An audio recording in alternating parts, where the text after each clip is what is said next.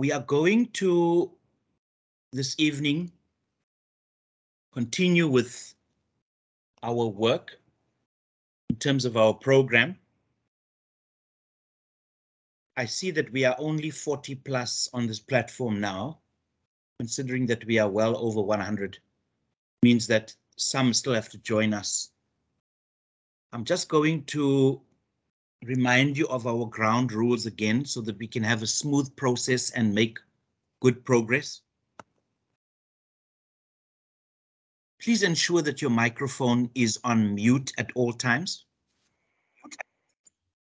It is distracting when any sound comes from any of you. you we lose our thought processes and then it uh, slows us down. So please, ladies and gentlemen, mute your microphones and make sure they are muted at all times.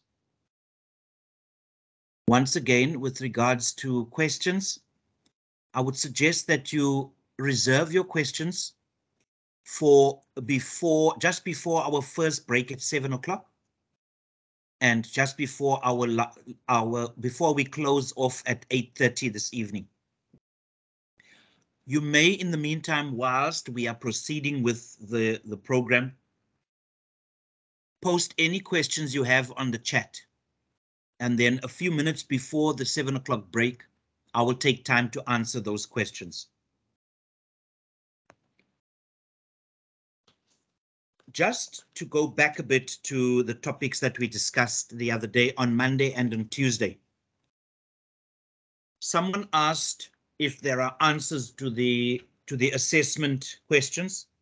Yes, the response was it is on part F of the book of the the book, the training notes, and that is found at page 188 of your manual.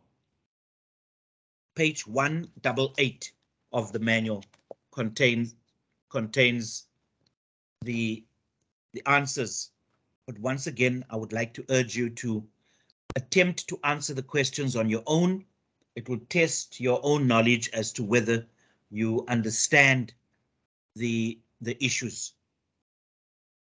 Then I would also like to add that what we had discussed the last two days as well can be found on pages one from pages 191 onwards.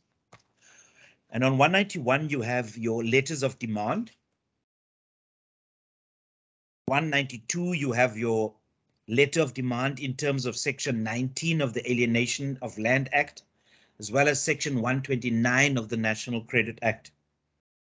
On page 193, you have the answers to jurisdiction, as well as how to cite parties.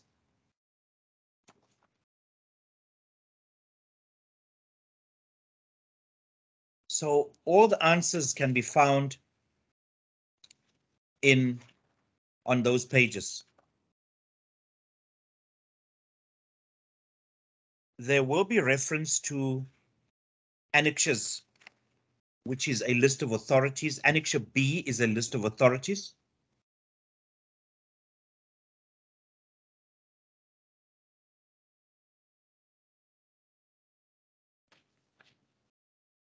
But before we go to, to Annexure B, sorry, I'd like you to look at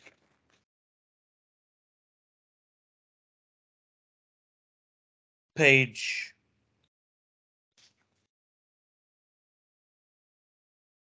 one, 214, 214, which is the definitions as contained in the rule in Rule 2 of the Act.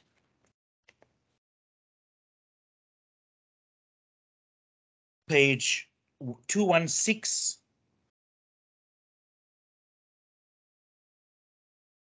is an annex, annexure G, annexure A actually, which is heads of argument criminal, but the same principles apply. It is just to show you what heads of argument look like. We will be dealing with that later on. And annexure B to that is the list of authorities referred to in those heads of argument.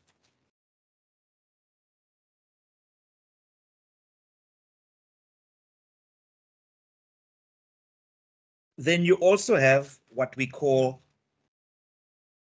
judicial precedents. Some of you refer to them as templates. Page 240 has a template of a founding affidavit in the Magistrates Court for eviction.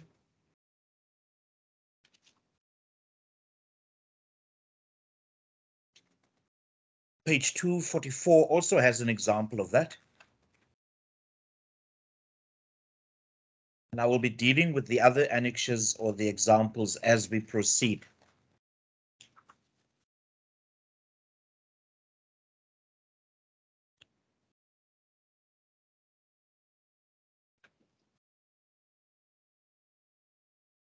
It is also advisable that when when you are reading your notes in preparation, that you have a copy of the rules of the magistrates court with you as well, because the relevant rules contain the wording used in respect of every rule and every pleading affidavits and notices are drafted in terms of the rules. And at the back of your rules, you have what is referred to as forms, different forms which are the pre the, the precedents that I referred to earlier on. And you will find one in in those forms on on on basically every single notice that you can think of. There are quite a number of them. Right, this evening we are going to then start with undefended actions. If you remember, we said we are going to start with proceedings, the different types of proceedings. There are three actions, applications, and provisional sentence proceedings. We have started with actions and yes, up to yesterday, we had dealt with the different types of claims as well as causes of examples of causes of action. Today we are going to start with undefended actions. And we are on page 90 for those who would like to follow as per the notes.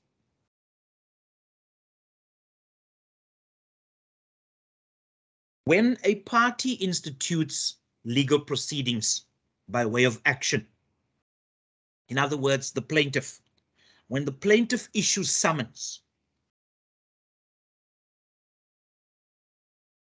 and the defendant has what is referred to as a bona fide defense. That defendant will then defend the action. In doing so, that defendant will file a notice of intention to defend or it is also referred to a notice of appearance to defend, indicating his or her or its intention to so defend the action.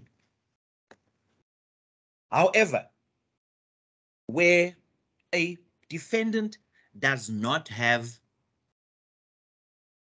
a defense, that defendant will not necessarily file an appearance to defend or a notice of intention to defend. Either because the party admits its indebtedness to the plaintiff or it admits that the plaintiff is entitled to the relief that the plaintiff is seeking. As I said, by admitting the debt, the defendant will then choose to either pay the debt if he is in a position to do so in full or offer to pay the debt in installments if he is not able to pay the debt in full. And it is up to the plaintiff to either accept the, the, the payment in full or in installments or not to accept. And where where there is no offer of, of, of settlement by way of admitting and offering to pay the by the defendant, the plaintiff has certain options available Now, one such option by the plaintiff is to apply for default judgment against the defendant. And it's easy to remember because all you need to do is look at the defendant has look at it as follows.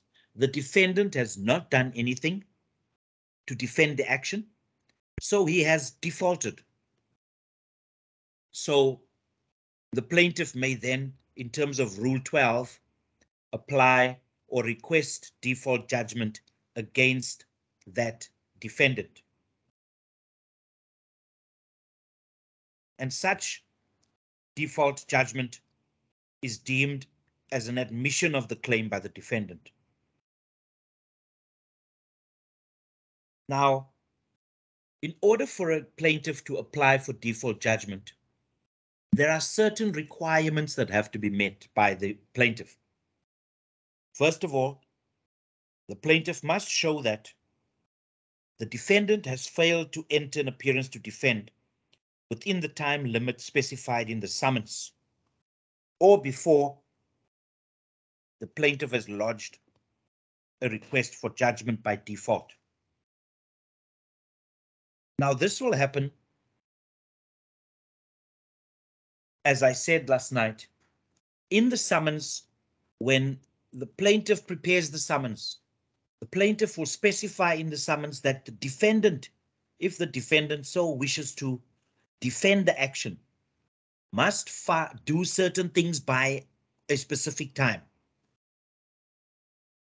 And such examples are that the defendant has to file an appearance to defend within 10 days or 20 days.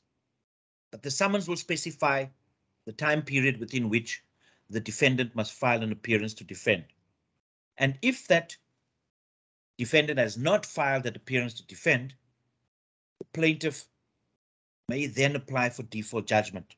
That is the first requirement. The second requirement is that the defendant has not consented to judgment.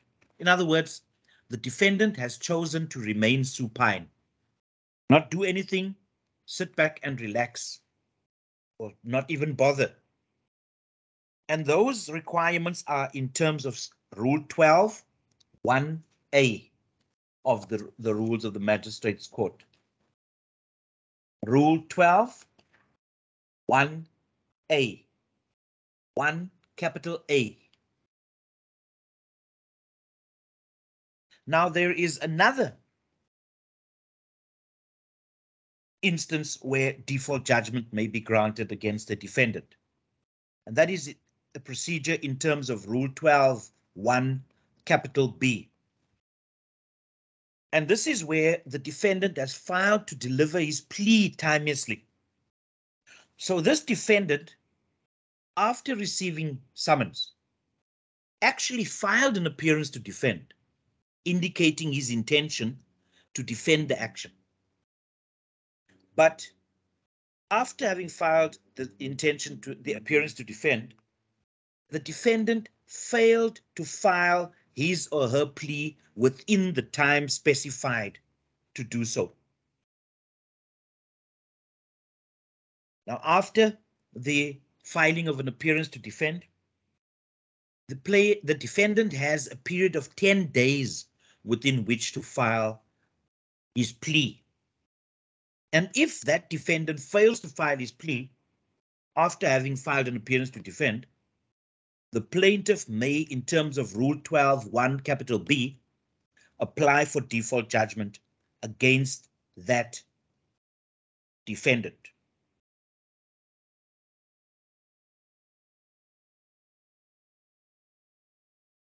But before applying for default judgment and the plaintiff and the defendant failing to file a plea, the plaintiff must first place the defendant under bar. And how do you place the defendant under bar? When the 10 days for filing the plea have expired, the plaintiff will send a notice to the defendant to say, Mr. Defendant, you were supposed to file your plea within 10 within 10 days.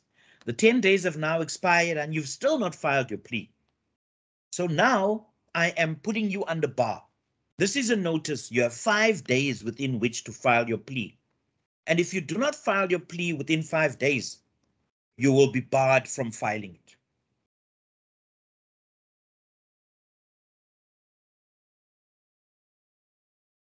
Then,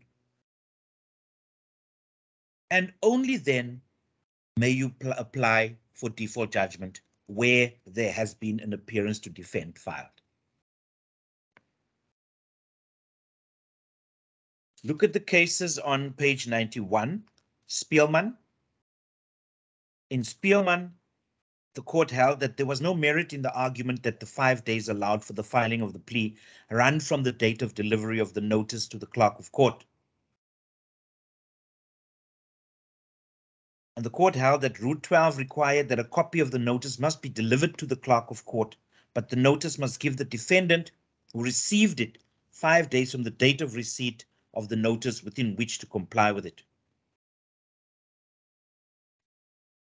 So it's it's five days of receipt of that notice to file a plea and not five days of the date of the plea.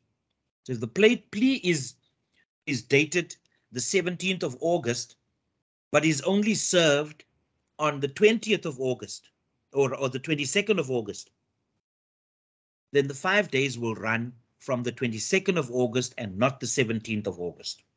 That is what was decided in the Spielman versus Duncan case. In Santam and others, Bamber,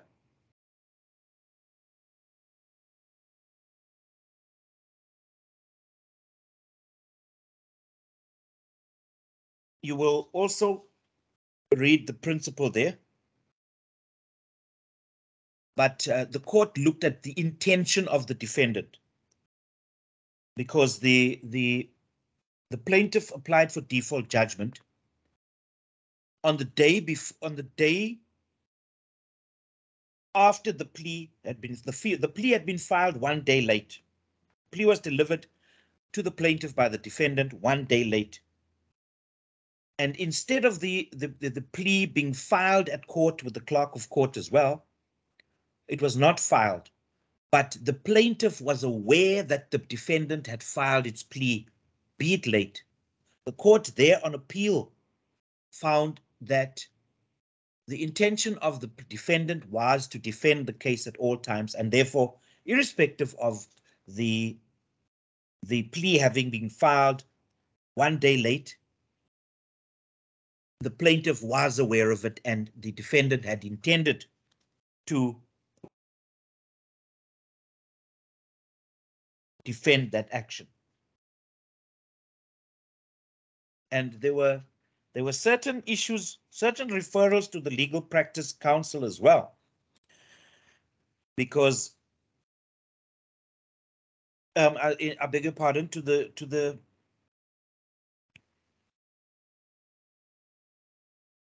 certain certain ethical issues were raised by the court because with, with the conduct of the legal practitioner, because that legal practitioner, even though the appearance to defend was not filed in court, it was brought to the attention of the legal practitioner for the plaintiff, timeously so, although it was one day late, but they were aware of the intention to defend the action.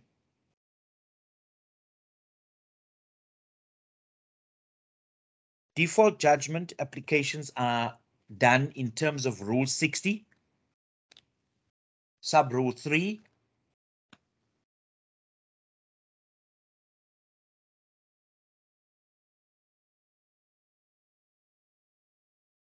amongst others. And that rule provides that where any order made under sub-rule 2 is not fully complied with within the time so stated, the court may on application give judgment in the action against the party so in default or may adjourn the application and grant an extension of time for compliance with the order on such terms as to costs and otherwise as other and otherwise as may be just. I just read from the actual rule concerned. Rule 32, sub rule 2, also provides that if a case has been set down for trial, in other words, all the pleadings and all the notices have been filed, the parties are ready to go to court to argue the case, to present their cases, to lead their various evidence and the witnesses in court in support of their cases. Where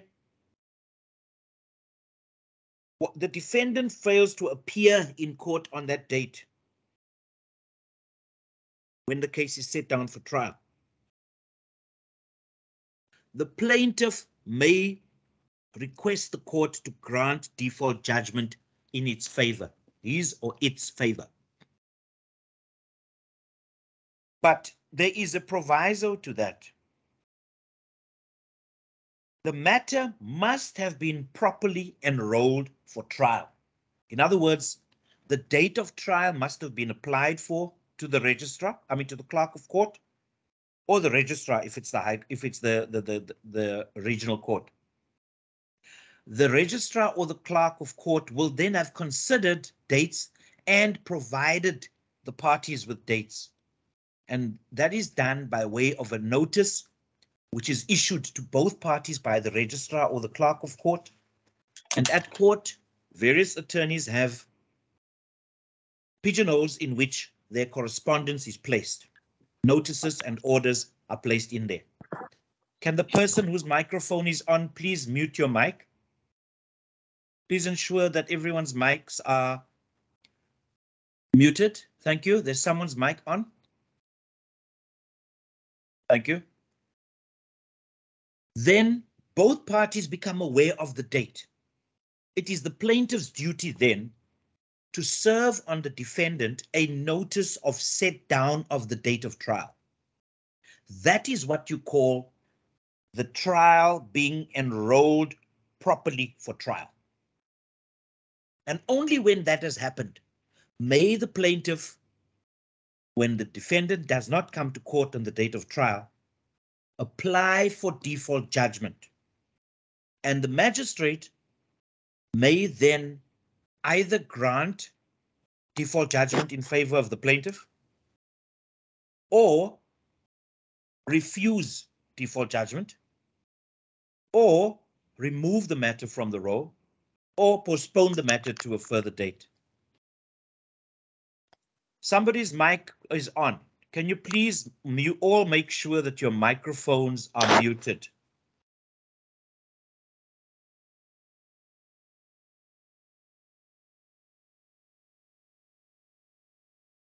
Please, guys, let's let's let's continuously check that we are muted. It's it's distracting and it hampers our progress.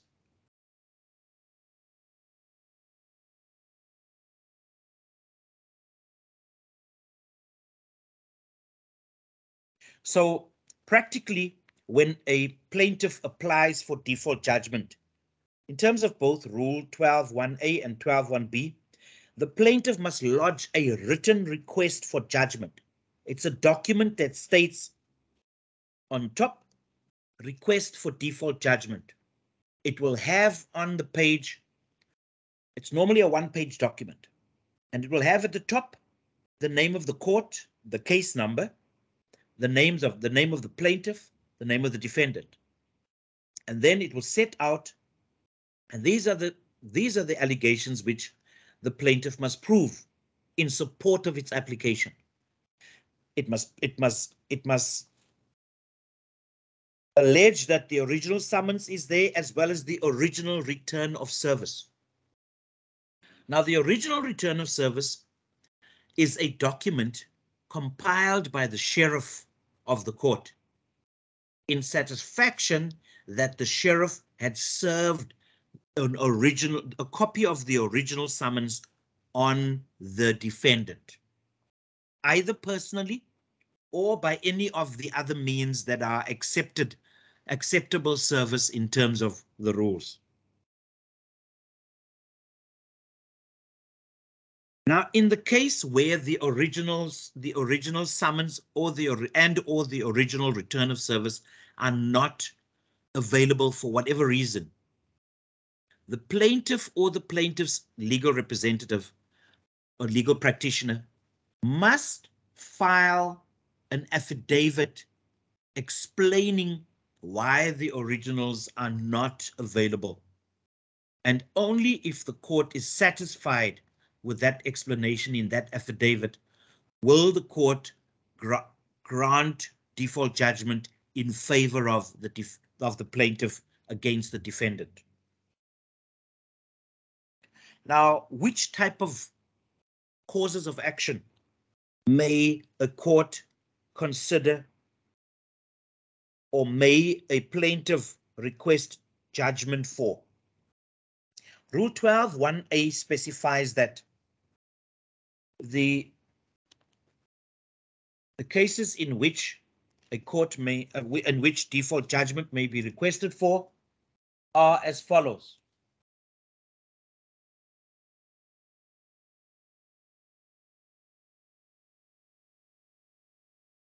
And it's under 12 1a Roman numerals. Any sum not exceeding the amount claimed in the summons so if it's more than the, the amount claimed in the summons, you will not be awarded default judgment. It's either the amount claimed in the summons or a lower amount. Any other relief claimed in the summons. So if it is for, for eviction, you may request eviction in your default judgment request.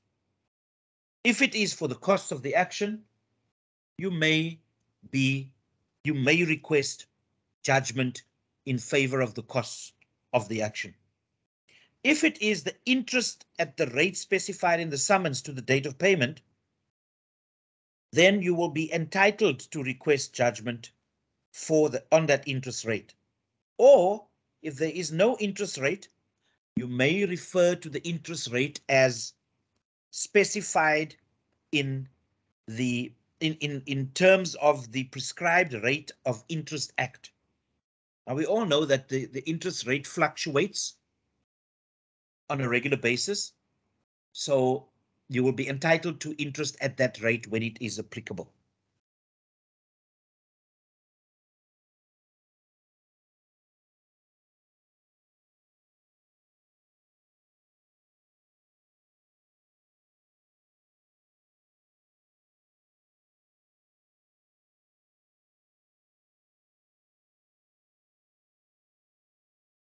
Now, the sheriff, as we said, is the person who is authorized in terms of the law to serve all processes on parties in legal proceedings. And this includes summons. Only the sheriff can serve a summons. Now, if for whatever reason it is not possible for the sheriff to serve a summons in the ordinary way.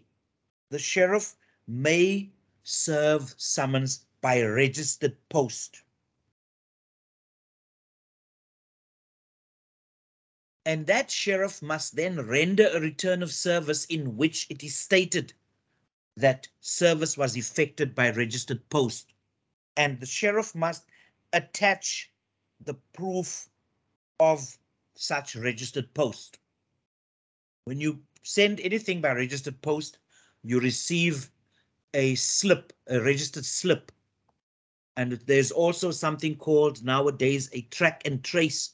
So you can actually trace whether that document, that registered post, has been sent and delivered and even collected by the person to whom it was addressed.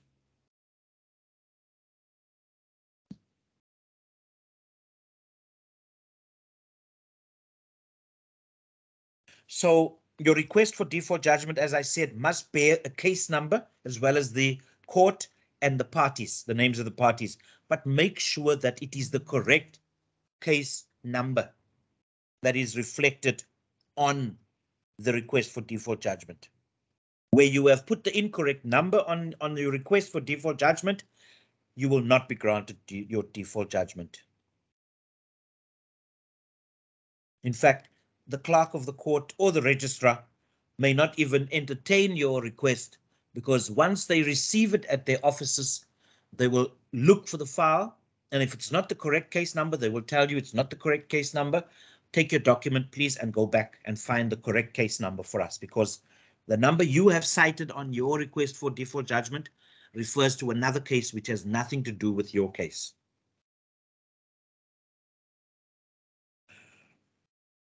Right. The and just like with pleadings, a request for default judgment must be signed either by the plaintiff, him or herself, or by a legal practitioner. No other person may sign a request for default judgment. A husband cannot sign on behalf of a wife. A mother cannot sign on behalf of her 18-year-old son. The plaintiff, him or herself, must sign if they are not represented legally by a legal practitioner. Now we spoke about liquidated and unliquidated claims. In the case of Fattis Engineering, a company Pty Limited versus Vendick Spares,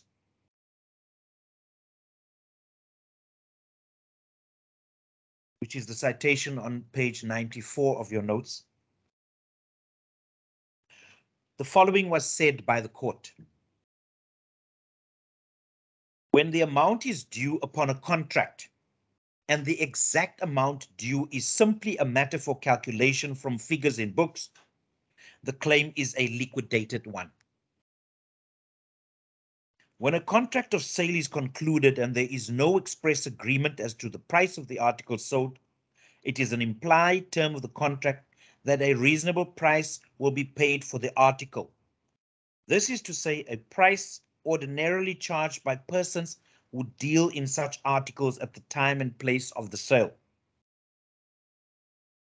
Similarly, where a contract for the rendering of services is concluded and the parties do not agree as to the remuneration to be paid therefore.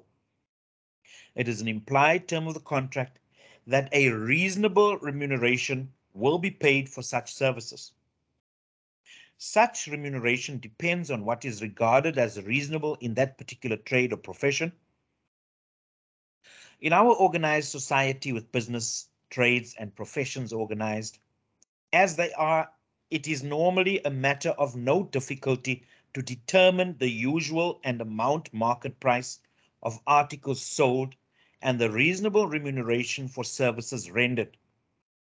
These are matters which, as a rule, can be ascertained speedily and promptly. So a liquidated claim is not a, necessarily a specific amount. It is an amount which can be ascertained speedily and promptly. And the suggestion here is that you look at the market related pricing in the case of contracts. And that is in, in business or trades and professions. And that is where you will then be able to say it is easily ascertainable.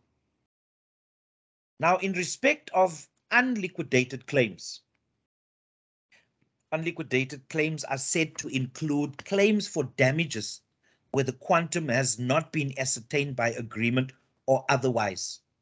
And last night I made the example of a claim for medical negligence where a party, a person is suing the MEC for health. There are items for which the plaintiff is suing the MEC, such as loss of income, which is not ascertainable at the time because the services of an actuary have to be employed to calculate if the person, the plaintiff or the injured person, will have been able to follow a certain profession. And there too, you need the services of an industrial psychologist to first determine what type of profession the person may have followed. And then factors that are taken into consideration there are as to whether the person was ever employed. If it's a minor child who has not worked yet and will never be able to work, it has to be ascertained what type of work that that minor child will have would have done if that child had lived a normal life. Would that child have reached normal milestones? What is the family history in terms of the education and the career paths of that child's family? Those are all the things that are taken into consideration to determine. So in other words, they are not easily ascertainable at the time. And for that reason, such claims are considered to be unliquidated, or as we said earlier on, not capable of being ascertained speedily and promptly. Another example is a claim for reasonable remuneration for services rendered, where that remuneration is not fixed by a trade usage or custom. Let's say it's it's it's a gardener who works on a part-time basis. The you may pay your gardener 300 rands per day, but your next door neighbor pays his gardener 200 rands a day or you may call it exploitation by your, your neighbor, but the fact remains that you decide to pay your gardener more than your neighbor does. That makes it unliquidated. So if you're, unless you have a specific agreement between yourself and your gardener that this is how much is going to be paid, your neighbor's gardener cannot institute a claim against his boss for payment of 300 rands when he has agreed to 200 rands. Maybe it's not such a good example in the in the case. But the illustration is there that there is no industry, a trade usage or custom that determines the prices for gardeners. Once again, it's probably a bad example because there is a minimum wage with, that the Department of Labor sets out. But I think you should you understand the rationale behind there being a fixed trade usage or custom. Where there simply isn't one, then, then that claim can be said to be unliquidated.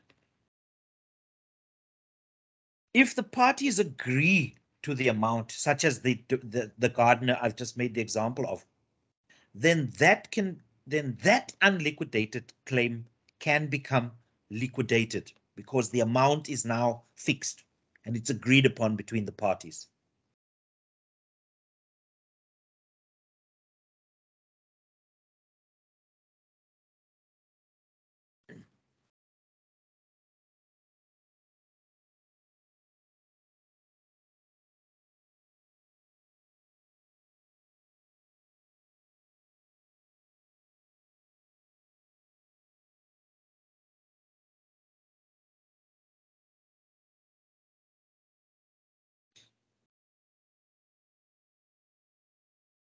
I see there are some questions there already. Um, I will respond to them shortly. Well, let me look at them now. Zanele Maseko wants to know if a defendant ignores the slip to collect the letter from post office, the case will not move right as he has not received the summons. Then what? Can an email address provided by the defendant be used? All right, let's first start with the first question. Zanele, if a defendant ignores a slip or free or fails to collect that slip, it's that defendant's fault. There has been case law that's gone as far as the Supreme Court of Appeal, in which it was decided that if a party can prove that the and this was in terms of the National Credit Act, litigation in terms of the National Credit Act. If that party can prove that the letter, the registered post was sent to the correct post office, that party will have done enough. It is to the detriment of the defendant that that defendant failed, refused, or neglected to collect that letter. So that question of yours has come up in litigation, but it was settled by the Supreme Court of Appeal when it was held that all the, pl the plaintiff has to prove is that it has sent the letter to the correct post office, whether the whether the defendant collected it or not is not the plaintiff's problem. So because people deliberately refused or failed to, to, to collect uh, registered post. And for that reason, a plaintiff was left with no remedy because of an evasive defendant. Now, the next, I hope that answers your question. Now, the next question uh, looks like it's from Zanele Maseko too. Can an email address provided by the defendant be used to forward the summons instead of the good old post office?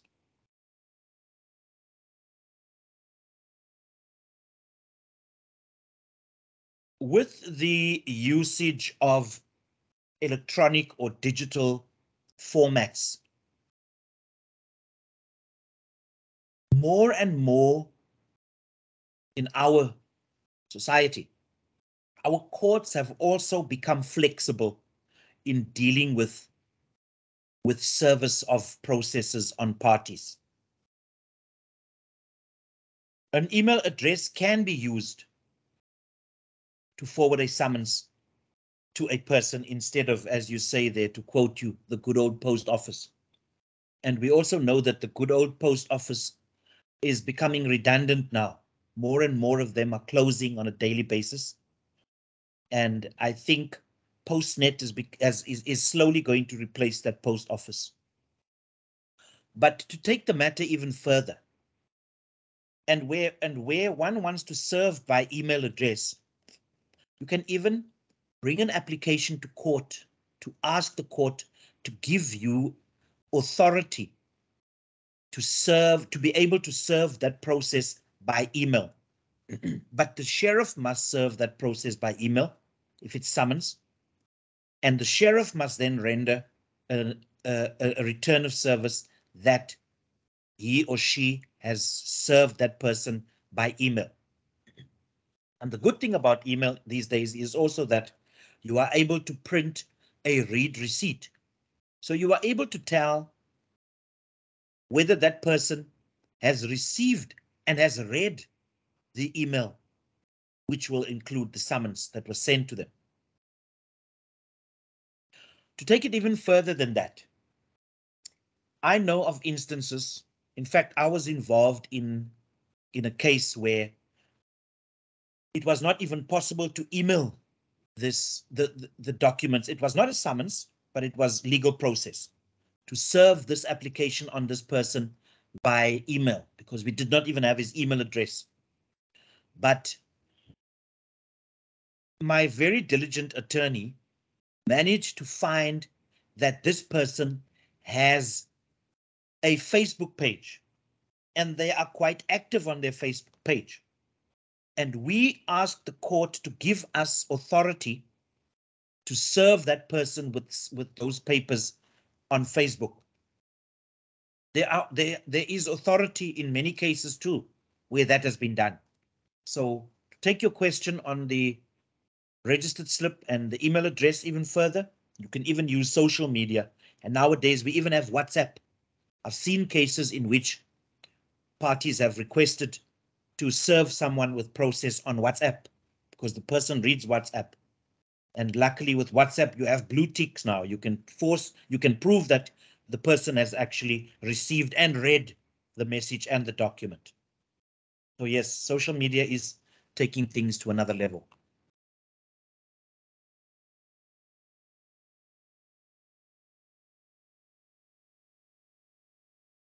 In default judgment applications, when that application, that request for default judgment comes to court, and more courts these days are, most magistrates courts are now requiring that default judgment applications are, are heard in open court, where it is recorded electronically, and it, there's a record that's available because parties now, when they want to bring an application to rescind that judgment, must be able to have a record on which to rely. Or if you want to appeal against a default judgment that was granted erroneously for whatever reason, then you must be able to have a record. And it's for that reason now that default judgments are heard in open court. In some in some requests for default judgment, especially where it is an unliquidated claim that is not easily ascertainable or speedily ascertainable. The court may require that the plaintiff leads viva voce evidence, oral evidence, or files an affidavit in which it sets out its its um, it supports its claim for default judgment.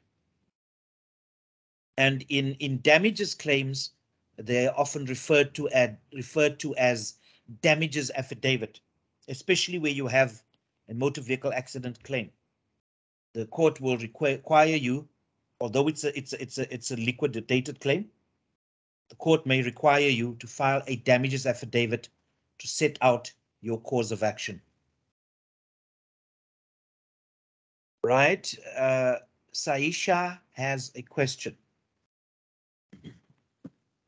Do you have to provide consent to service electronically? Or if you serve yourself, is it necessary to do a service affidavit? First question, uh, yes, first of all, the parties must consent consent to serving summons electronically. But remember, at that stage, the parties, the, the defendant is not represented. So the issue of serving electronically has not come into question yet, unless you and or the sheriff are experiencing difficulty serving in the normal way. Serving electronically is a last resort after after after registered post. So if the sheriff is unable to serve via uh, via normal processes by personal service, by affixing to the property, if if it's not possible to serve in any of those normal ways, the sheriff will then resort to serving by registered post. And with registered post, you only need to show that it's been sent to the correct post office. As to whether the defendant actually collected it or not is a different story, but you must show then that you've served on the correct address. Where the sheriff is unable to serve or by any of these means. And the attorney wishes to serve him or herself. Now remember, others other than the sheriff, only an attorney may serve legal process, including summons. In extraordinary circumstances where the sheriff is not able to do so. Then, and only then, may an attorney serve. And where an attorney has served summons or any other document on the defendant, the attorney must do a service affidavit. Only when it is not the sheriff. I hope I've answered your question, questions, Saisha.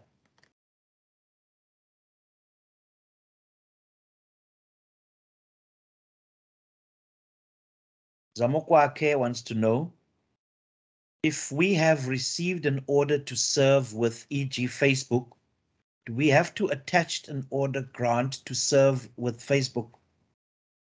Yes, Zamokwake, you must also attach the order that gives you the authority to serve via Facebook.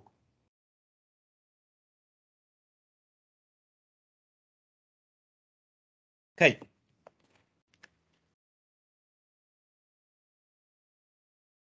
I would suggest that you serve the order at the same time because for sure it will come into question if that person decides to defend that action. One of the things they may want to ask is, how was this? How did you serve me via Facebook? Whereas the normal ways of service are, uh, uh you have not even said that you followed those ways. Then only when they receive the court order as well as the application papers in respect of the order giving them authority to serve via Facebook, will they then become aware of it? So it's good perhaps to give them the order at the same time. on Facebook.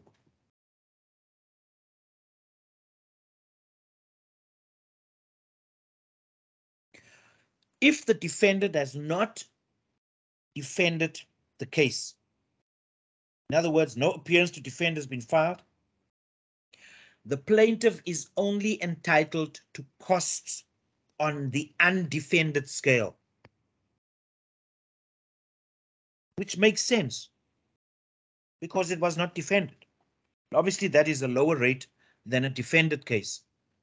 It'll be less work being done by the plaintiff's attorneys.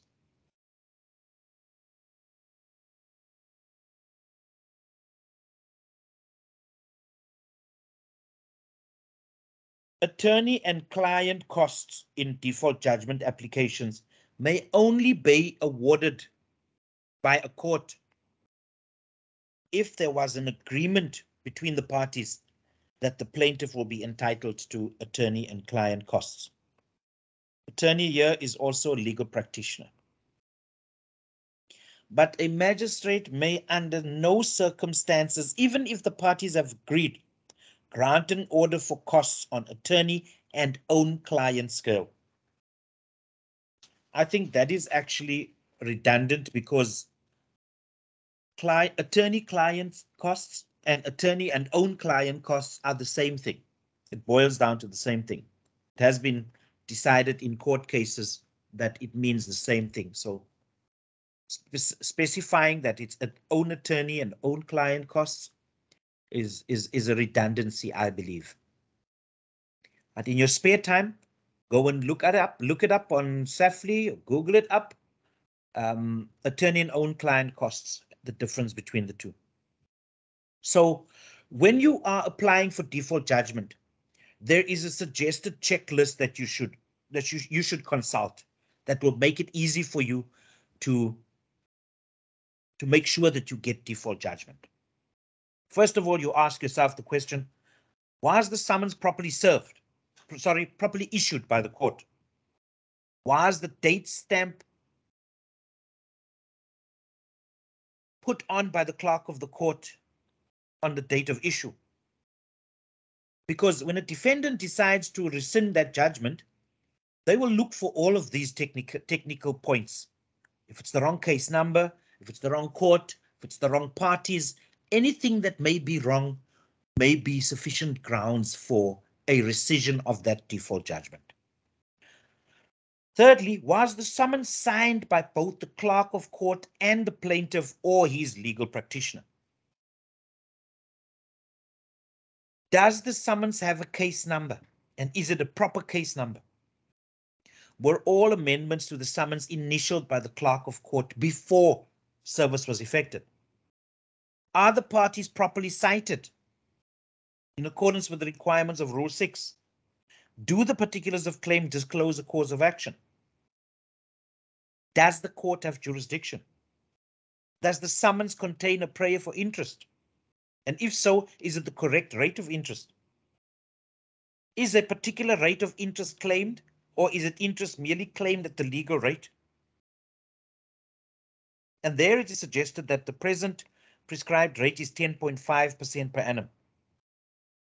I believe it's 10.75 at the moment.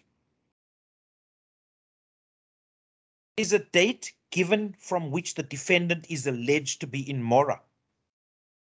And if so, what is the factual, factual basis for that? And it must be alleged in the papers. Were the correct DAs in Dukiai specified in the summons? In other words, was the defendant given 10 days within which to defend the action? And did those 10 days actually lapse? Are the costs, if the action is undefended, reflected on the face of the summons? It's another requirement. When you issue summons, on your summons must be indicated the costs to which the defend the plaintiff is entitled should the, the defendant not defend the action. And that alone may be a reason for the defendant not to, to defend the action if he or she does not have a bona fide defense. Has the return of service been attached to the summons and was the summons properly served? Is the next question you must ask yourself. And if a written agreement is relied upon, it should be filed. In other words, a contract, if it's a written contract, it must be attached to the based on a liquid document. Is the original thereof attached to the summons? And once again, if the original is not available, you must produce an affidavit by your by your client, the plaintiff, which sets out why it cannot or should not be made available.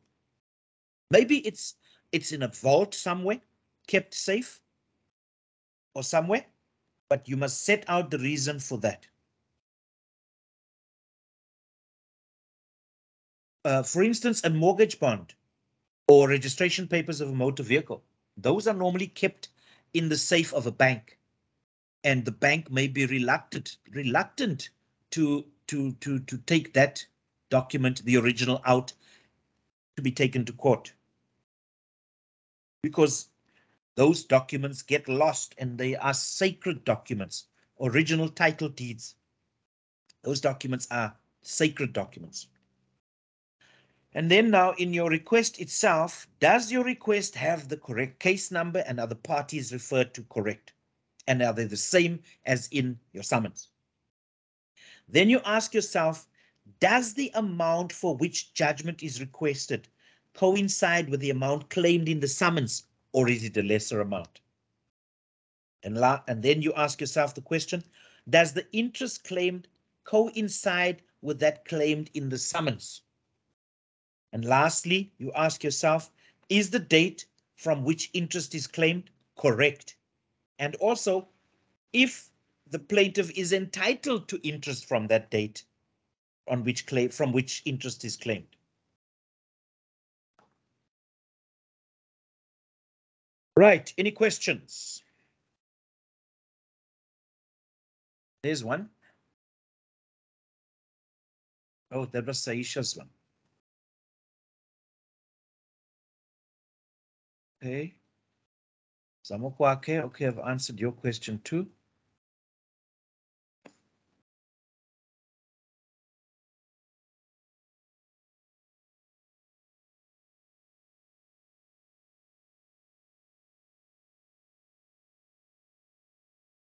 Okay. Right, now, judgment, rule 11, judgment by consent. Rule 11 provides for judgment, for consent to judgment. In other words, a party may apply, may consent to another party taking judgment against it. In this case, the defendant will admit the plaintiff's claim and the defendant will consent to the plaintiff taking judgment against it. It is a rather drastic step. And remember, any judgment against a defendant or a litigant will be reported to the credit bureau.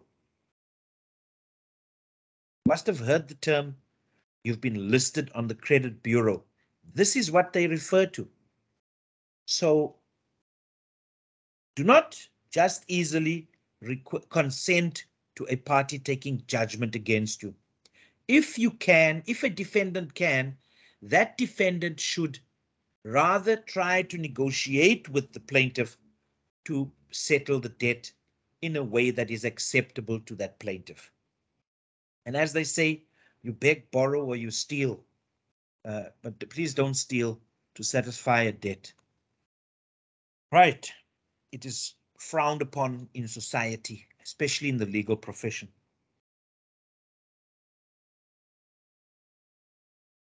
Now, admission of liability and to pay debt in installments. Now, in addition to judgment by consent, the defendant may also, after receiving summons, admit his or her liability to the plaintiff and then make an offer to pay the debt in installments. Normally, this happens when these big financial institutions such as banks, credit providers, institute legal proceedings against their clients who are now their debtors because they have for some reason defaulted on their payments, their installments, either for a house or a car or some other asset.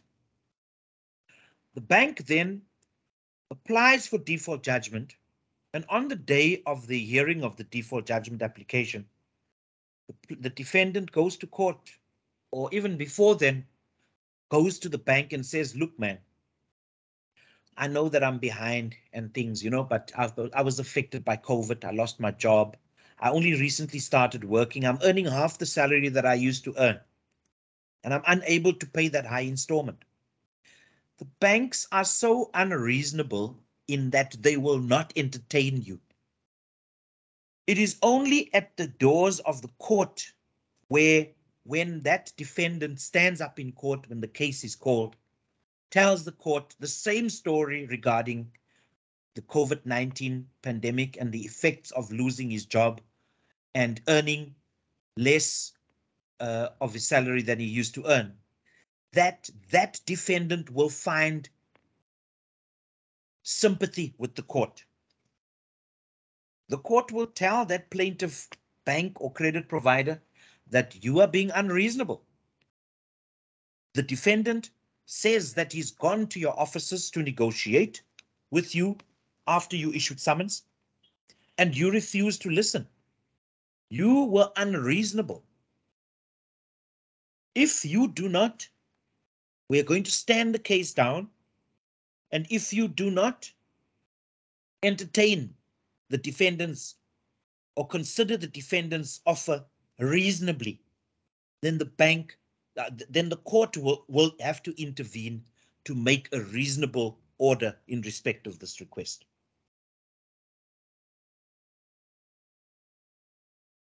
So then it's up to the parties to then record that settlement in writing. Uh, the bank will consider, or the creditor, the plaintiff will consider reasonable offers to settle the debt. And reasonable offer means an offer that is not ridiculous. If you owe the bank 1 million rands, you cannot offer an amount of 100 rands per month to settle the arrears of 1 million rands. You will never finish it. Not in a million years. Well, maybe in a million years, but uh, at one at 1,000 at 100 rands a month. So yes, it, it that is not reasonable. However, in a in a claim where you have arrears of you are being sued for 100,000 rands, page 99. You are being saved, you are being sued for 100,000 rands. And the defendant then makes an offer to settle the 100,000 rands in installments of 10,000 rands per month. That is a reasonable offer. That may be considered to be a reasonable offer. Rosalind, we are on page 99.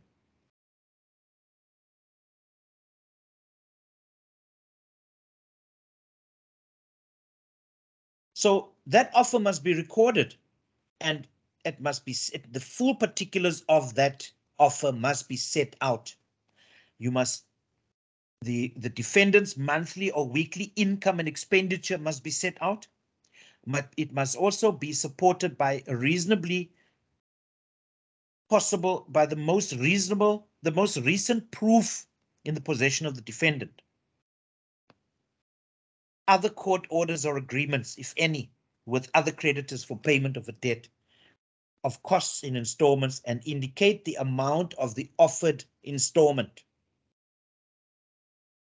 That is what the offer must entail. It must include all of that information.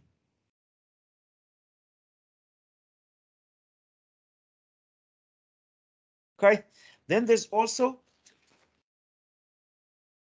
a consent to judgment.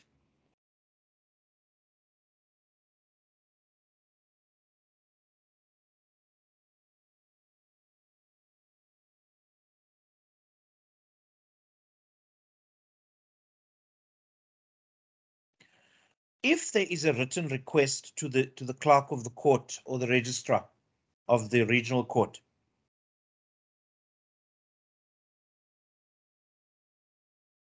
And if any person after receiving a letter of demand or a summons that person then consents in writing to judgment in favor of the plaintiff.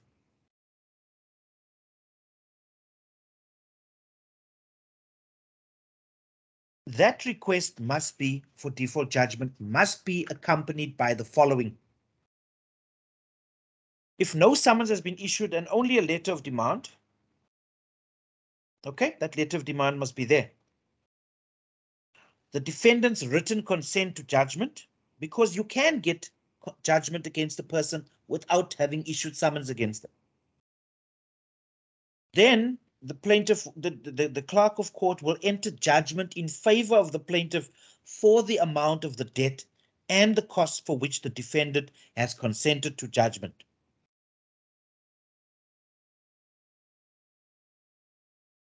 And if that defendant has also consented to, in writing to to pay the debt in installments or otherwise, as well as costs that he has consented to. The clerk of court may order that defendant to pay the judgment debt as well as costs in installments or otherwise. And that order, which the which the clerk of the court then issues, shall be deemed to be an order of the court, as mentioned in section 65A which as we said last night, is our debt collection procedure.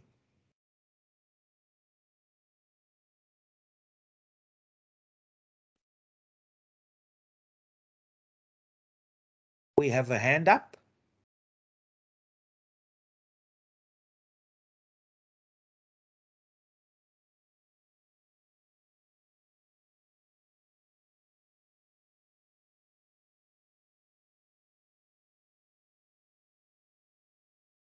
Did someone have their hand up?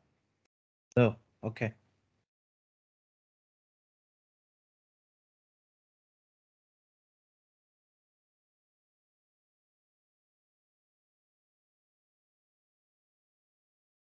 Okay, so on page 100, then you find the difference between the procedure created by section 57 and that created by section 58.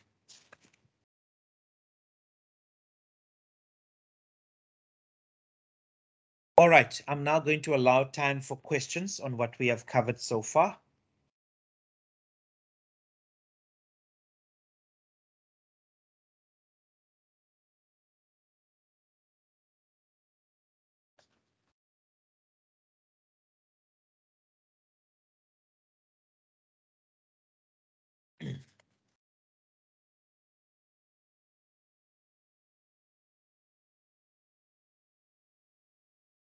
All right, so was it that clear? If that is the case, then we are going to move along to defended actions. Now, we've just dealt with a scenario where a case, a, a claim for damages is in a summons is not defended. We are now going to look at what if the claim is defended in a summons. What steps are available to a defendant when he or she decides to defend an action? Now, first of all, when a party wishes to defend an action, a defendant in this case, that defendant must deliver a notice of intention to defend. And that is a notice of intention to defend speaks for itself. It tells your client you are now making known your intention to defend this case. And normally that intention to defend or appearance to defend must be served on the plaintiff or plaintiff's attorneys within 10 days after the sheriff has served it on the defendant.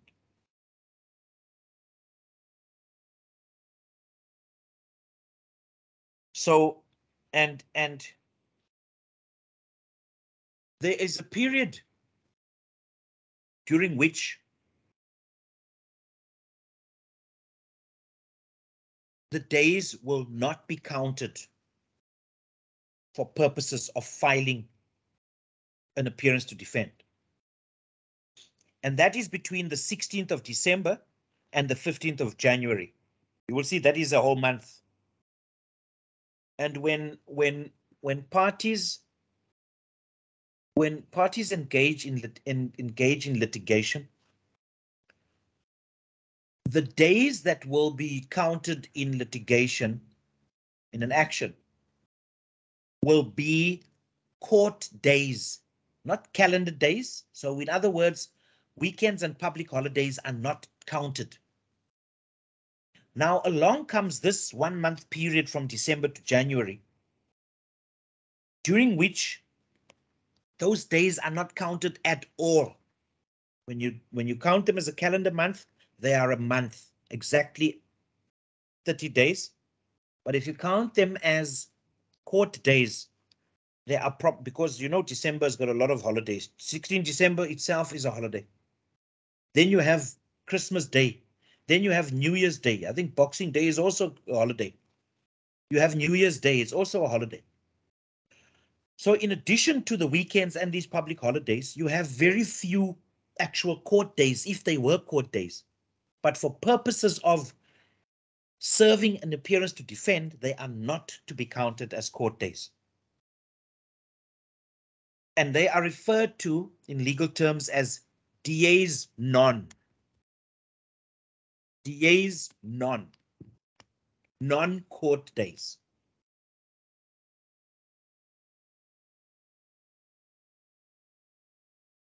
So the sheriff, if the sheriff serves you with with a summons, serves, a defendant with a summons on the 14th of December.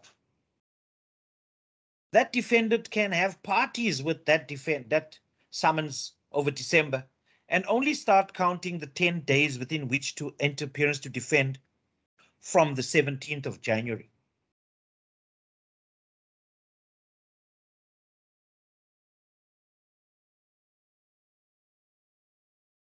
And the sheriff must deliver that document in the correct manner too.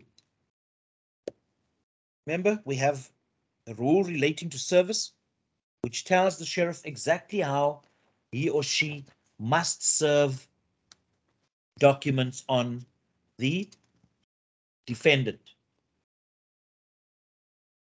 No other way means of service may be accepted unless in exceptional circumstances.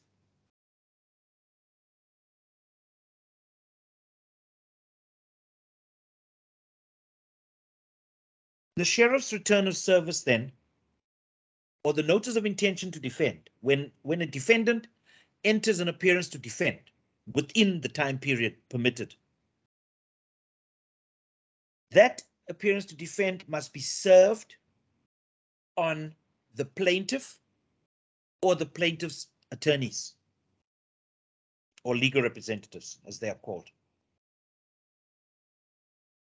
by taking a written notice to them.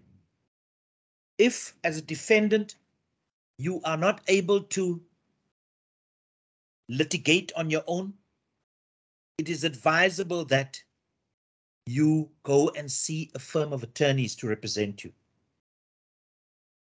You go and see a firm of attorneys to represent you, and they will draft a notice of appearance to defend, and they will cause that appearance to defend to be served, physically taken to the plaintiff's attorneys. The plaintiff's attorneys will receive the original and two copies, put a stamp on each copy, take a copy and return the original and a copy to you, the defendant's attorneys. You will then take the original to the clerk of the court or the registrar of the regional court, and file the original on the court file. That is how you enter an appearance to defend properly. I see there's a question by Emily. Does that mean then, if a summons was served on the 15th of December, the 15th will be counted as the first day and the 16th of January the second day? Okay? The 15th of December is not counted as the first day. The first day will be the 16th of December, which is a, which is a public holiday. So you won't, it is a public holiday anyway. So the first day will be on the 16th of January. And the second day will be on the 17th of January. So it's exclusive of the first day and the last day.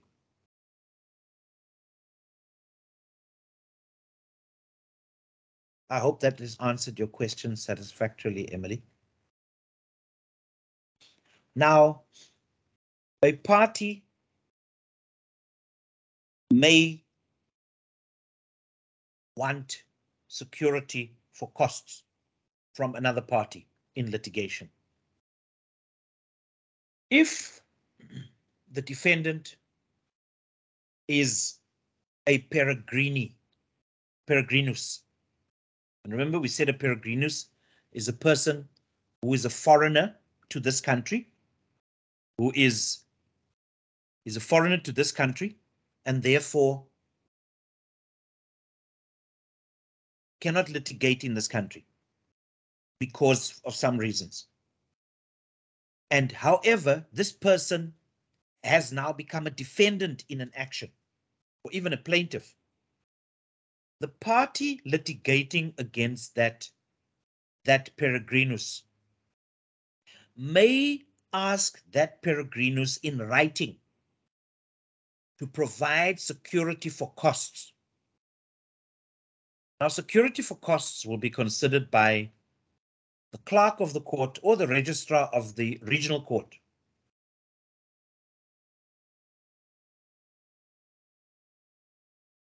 Based on the reasons for the, the, the, the, the costs. So when a party seeks security for costs, that party must also in the notice of security for costs set out its reasons and grounds for seeking such security for costs. And one such ground, as I've just indicated now, or illustrated, is that this person is a peregrinus who does not have property or asset or assets in this country. And therefore, I want them to file security for costs should I be successful against them. And that is considered to be one of the common law grounds for seeking security because Rule 62 does not specify what grounds, specific grounds there are for seeking security for costs. And therefore, the common law will be applied when a person seeks costs. You will set out in your request for, for such security for costs, your reasons and grounds for seeking for security of costs against such a party.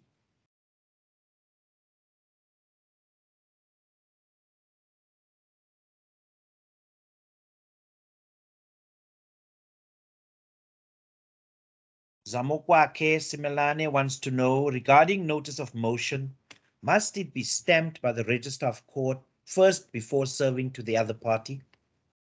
Zamokwake, notice of motion is in respect of application proceedings we are dealing with action proceedings at the moment. But yes, a notice of motion must be stamped by the registrar of court first or the clerk of court before the sheriff must serve it on the other party.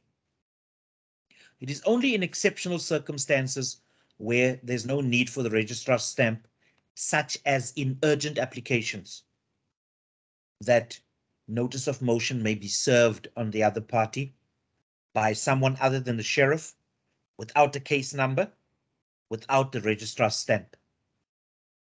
I hope I've answered you.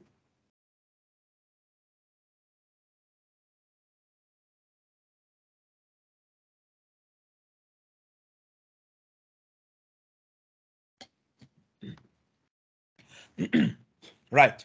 Now, next we are going to deal with a declaration.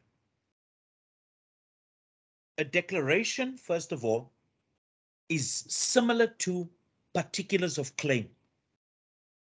It is a document which is to be filed by a defendant in an action where simple summons was served on the defendant. The plaintiff has made use of this of the simple summons procedure and has now served it on, the sheriff has now served it on the defendant. The defendant then files an appearance to defend, indicating his intention to, to defend the action. Now, when a defendant files an, an appearance to defend to a simple summons, the plaintiff must, within a period of 10 days, provide the defendant with a declaration which is similar to particulars of claim, in which the plaintiff sets out fully his or her cause of action against the defendant. Should the plaintiff fail to provide, to file that declaration within 10 days, the, the defendant may serve the plaintiff with a notice of bar. And the notice of bar will tell the plaintiff, you have been given a notice of appearance to defend you were to file a declaration within 10 days. The 10 days have elapsed. You have failed to provide to file the declaration. And therefore, you are now required to file a, decla a declaration to file your declaration within five days, failing which you will be barred.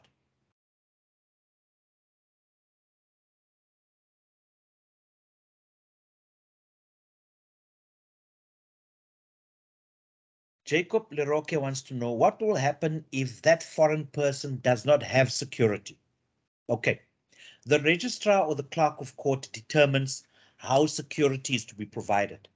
Now, security may, may be by way of a promissory note or a guarantee from a bank that the person has so much money which will be reserved for purposes of this of this matter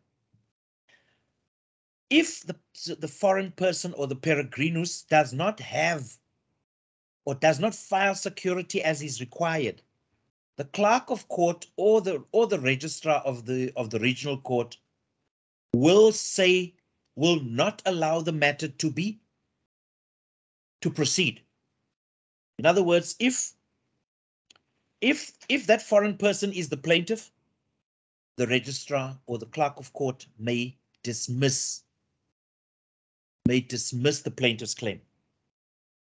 If the foreign person is a defendant, the registrar or the clerk of court may strike out the defense of that person. I hope I've answered you, Jacob.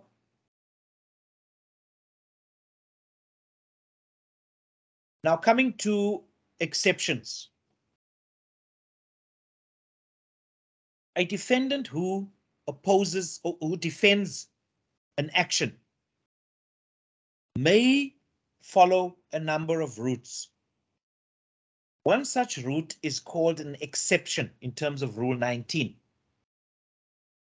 And an exception is a remedy available to a defendant where that defendant raises an objection to the particulars of claim or the summons either that the particulars of claim or the declaration in the case of a simple summons does not disclose a cause of action or that the plea, if one has been filed, lacks averments necessary to sustain a defense. And an exception is deemed a, deci a decision on a point of law which will dispose of the case. In other words, it can end there if, if, if the person raising the exception is successful. Without the case having to go to court, to trial and evidence being led to prove one's case. You only need to show that the complaint raised is a legitimate one, either that the cause of the, the, the, the, the particulars or the declaration do not disclose a cause of action or that the plea lacks averments necessary to sustain a defense. And if the court is with you, the court will strike out, will make will make a number of may make a number of of of, of orders. One, it may uphold the exception and find that the impugned pleading is indeed vague and embarrassing. I mean, sorry, does not disclose the cause of action or does not have averments necessary to sustain a defense, it may order that that plea or particulars or declaration be struck out. Or it may give the party time to cure the defect by either amending its particulars of claim, amending its declaration, or amending its defense in the plea. So an exception is a cheap and speedy method of determining the case. You don't, as I said, you don't have to run all the way through a trial for the court to say, to find that there's no cause of action. If there is no cause of action, there is no cause of action. But the court may also, where a party complains that a pleading or certain sections of a pleading are vague and embarrassing, which is one of the grounds. As I said, the first one in respect of a summons is that the summons does not disclose a cause of action. Secondly, that the summons is vague and embarrassing. Where where a summons is vague and embarrassing, the rule provides that the party complaining must first give the other party an opportunity to remove the complaint within 15 days. And if that party does not remove that complaint within 15 days, the complaining party may set the exception down in court for the court to, to decide whether to to order them to remove it within 15 days. And where they do go to court on that basis and the court does agree with the party that the pleading is vague and embarrassing, the court will order that party to remove the cause of complaint within 15 days or else the the the said pleading or the portion thereof will be struck out. Where the plea does not disclose, where the summons does not disclose the cause of action, or where the plea does not disclose the defense to the plaintiff's claim, the party complaining does not have to give the other party an opportunity to remove the cause of complaint that party may straight away set that exception down in court for hearing. And if the court is satisfied that there indeed there is no cause of action or that the plea does not disclose a defense to the claim, the court will order that plea, uh, th that those particulars of claim to be struck out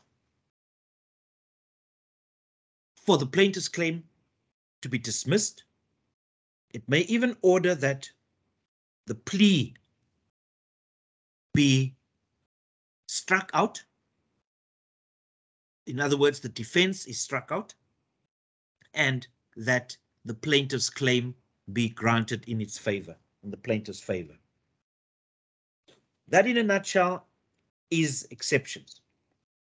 And an example of when a plea is vague and embarrassing is if it is capable of more than one meaning, or if the meaning cannot reasonably be ascertained, or it has a determinable meaning but is so vague that the excipient does not know what the other party's case is. Lastly, a plea, pleading is vague and embarrassing if the averments or allegations in a pleading that are contradictory and are not pleaded in the alternative are patently vague and embarrassing. Those are the things that you look for if you want to determine whether you can raise an exception on the basis of it being vague, of a pleading being vague and embarrassing. All right, I see that it is one minute past seven. We may take our 15 minute break now and let's meet back here at 16 minutes past seven.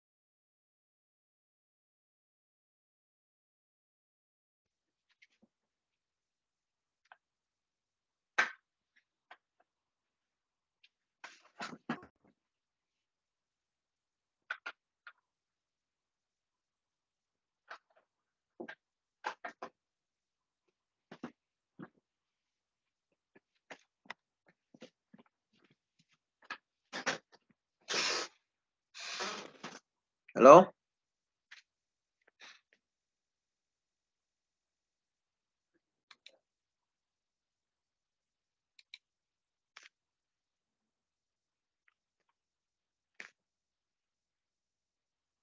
Hello, can I ask a question?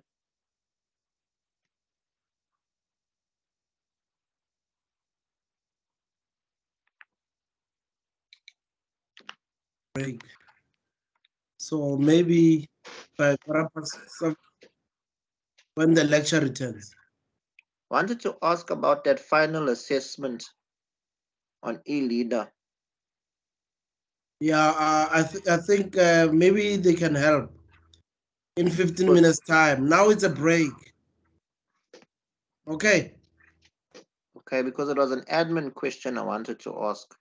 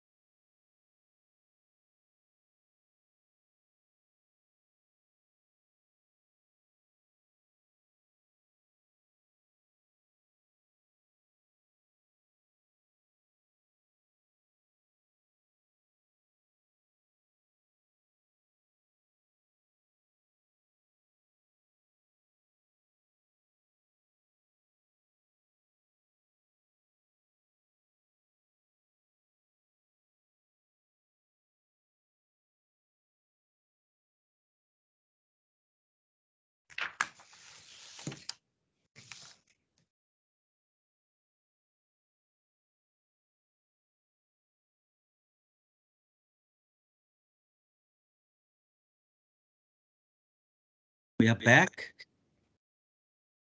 Terence, can you please mute your mic?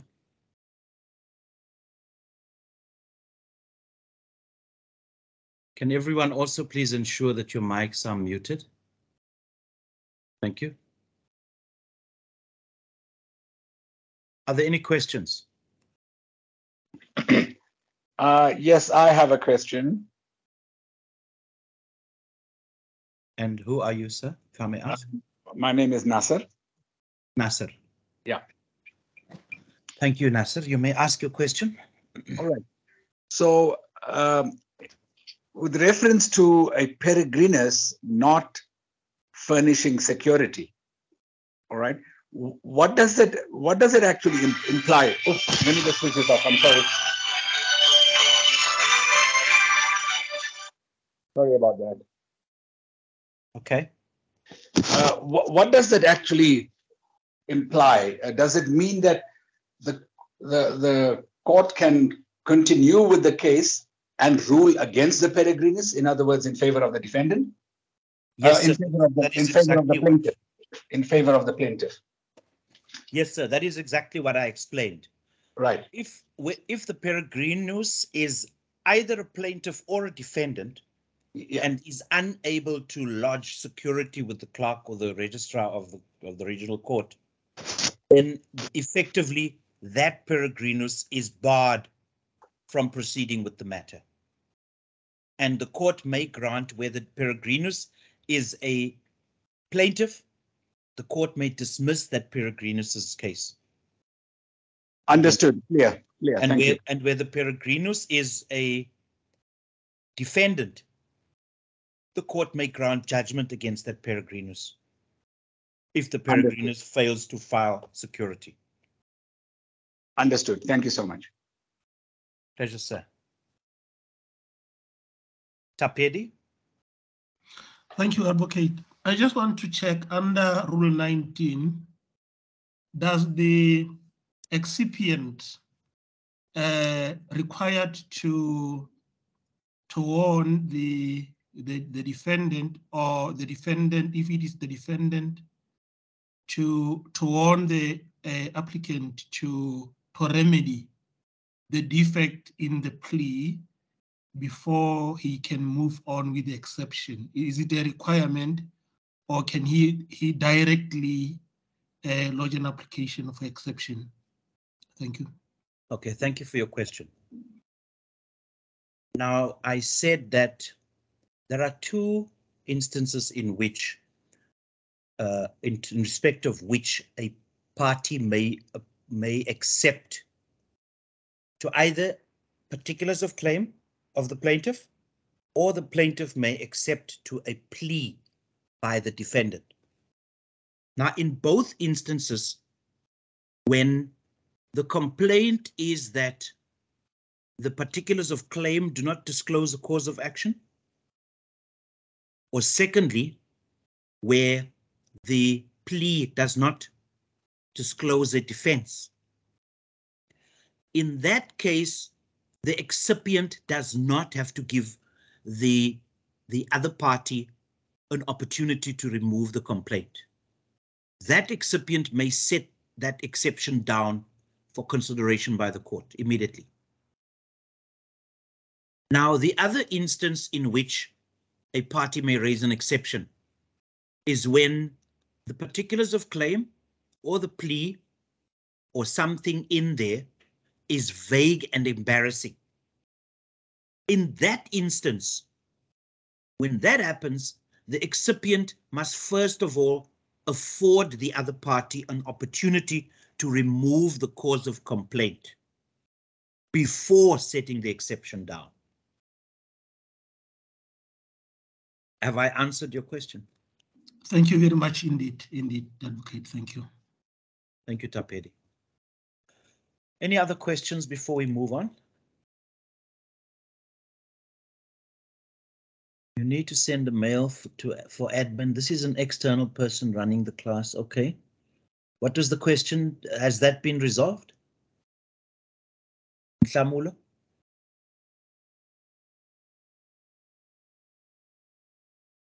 I'm guessing that was in response to Rosalind saying we on break. Doesn't look like a question. There's no question mark there. Okay, that seems to have been resolved. Tapedi, you may put your hand down if you don't have anything further to ask.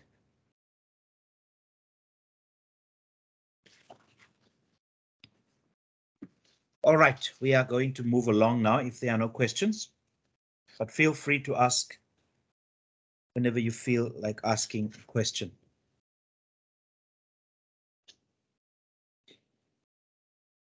Now, when we are still dealing with defended actions.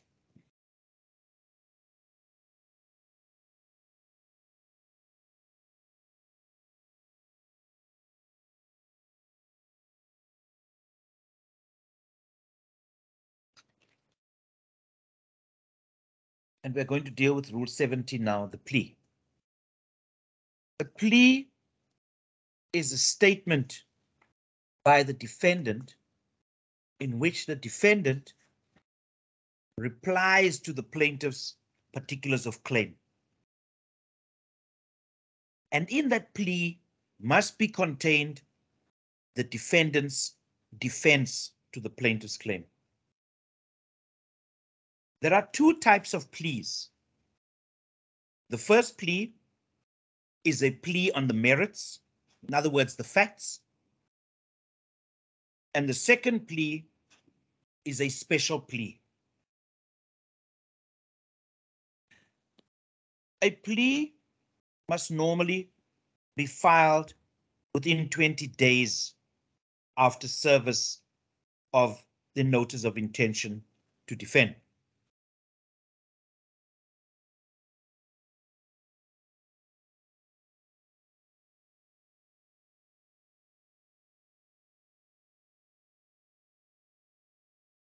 The plea, you must, in a plea, set out in detail, in great detail, the version of the defendant in response to the plaintiff's claim according to the particulars of claim.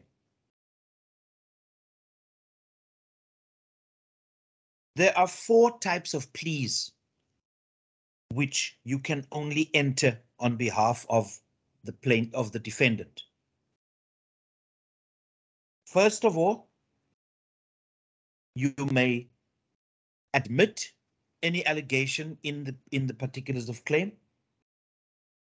Secondly, you may deny any allegation in the particulars of claim.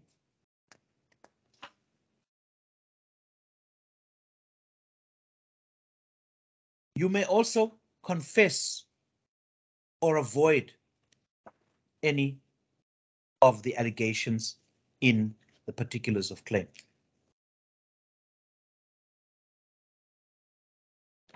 You may not plead anything other than that.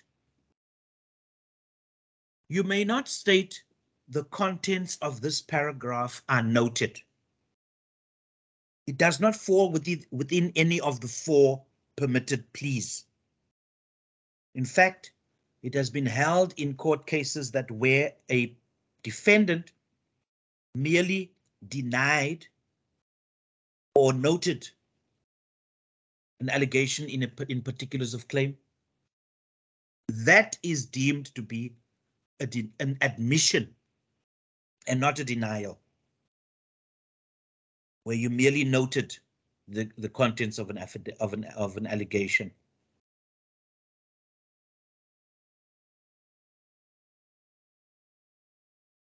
And where a defendant denies an allegation. Let's first deal with the admissions.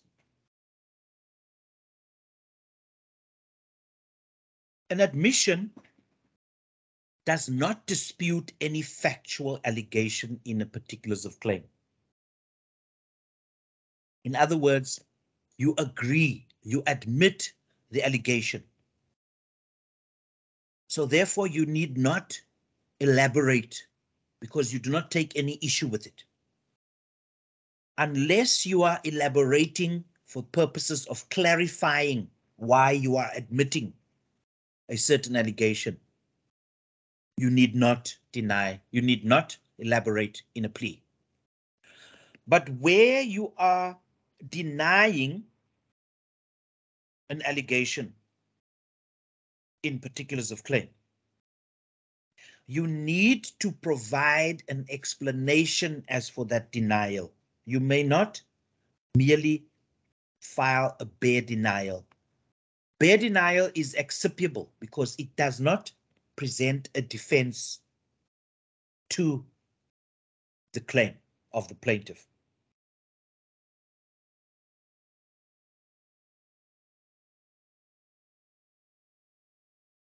You also need to, when you deny, need to put forward your version as to why you are denying those facts and your explanation, or rather your version of the facts as you present them to the court.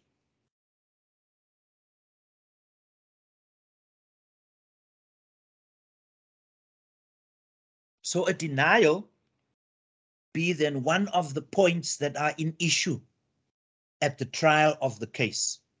Remember, we are dealing with an action here, and it has to go to court for viva voce evidence, where it will be tested of its veracity.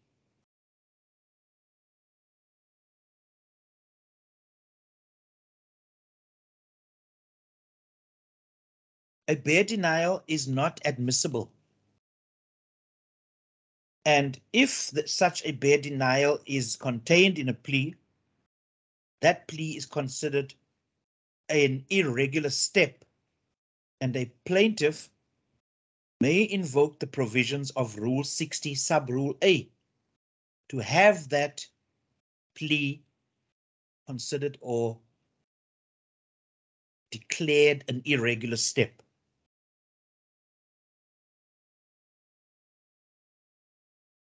Pleas are not for legal conclusions.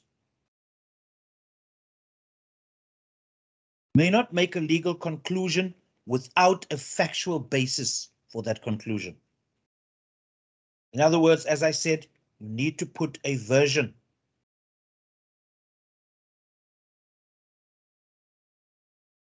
And when you plead, you are required to do so with sufficient precision and in sufficient detail to enable the plaintiff to know what case he or she has to meet. They must not be left wondering what case it is they are to meet. Because after the, de the defendant has filed a plea, the plaintiff has the opportunity to file a replication to what is contained in the plea.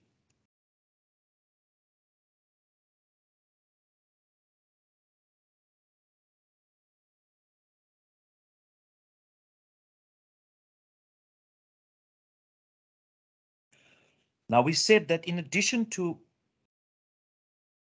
admitting or denying the allegations in particulars of claim, a defendant may confess and avoid.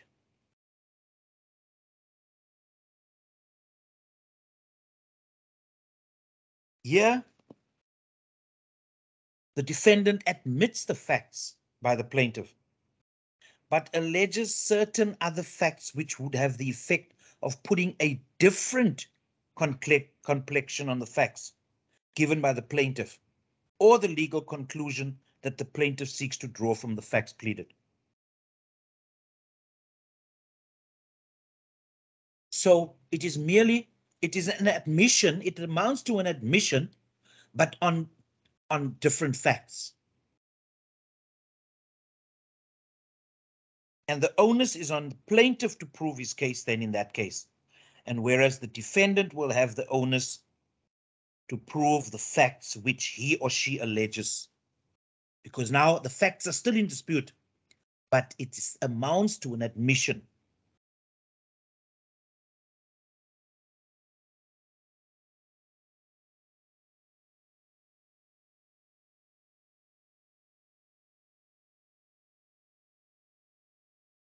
a defendant may plead as follows. That he or she does not have any knowledge of the facts or allegations pleaded by the plaintiff in the particulars of claim. And this is now a plea that is recognized in the magistrate's court, which has the effect of requiring the plaintiff to prove this allegation, while the defendant may not lead evidence to dispute the allegation. So the defendant does not necessarily have to admit or deny or confess and avoid. The, the defendant may just say, I have no knowledge of these facts and I put the, the plaintiff to proof thereof. The plaintiff will still have to prove those facts.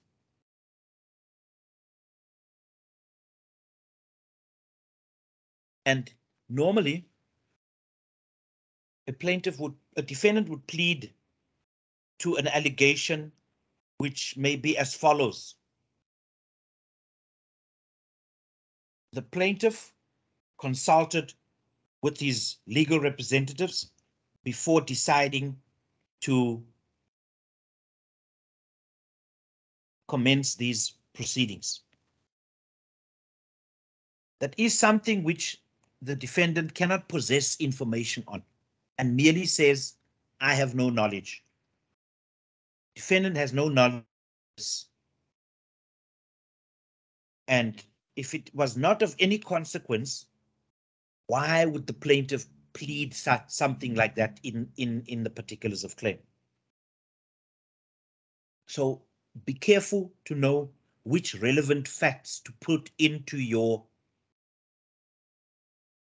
pleadings so that not so as not to attract unnecessary attention towards them. The example I just made is such is such an example. Right now, the second type of plea which a defendant may plead is a special plea. a special plea is a, a legal point.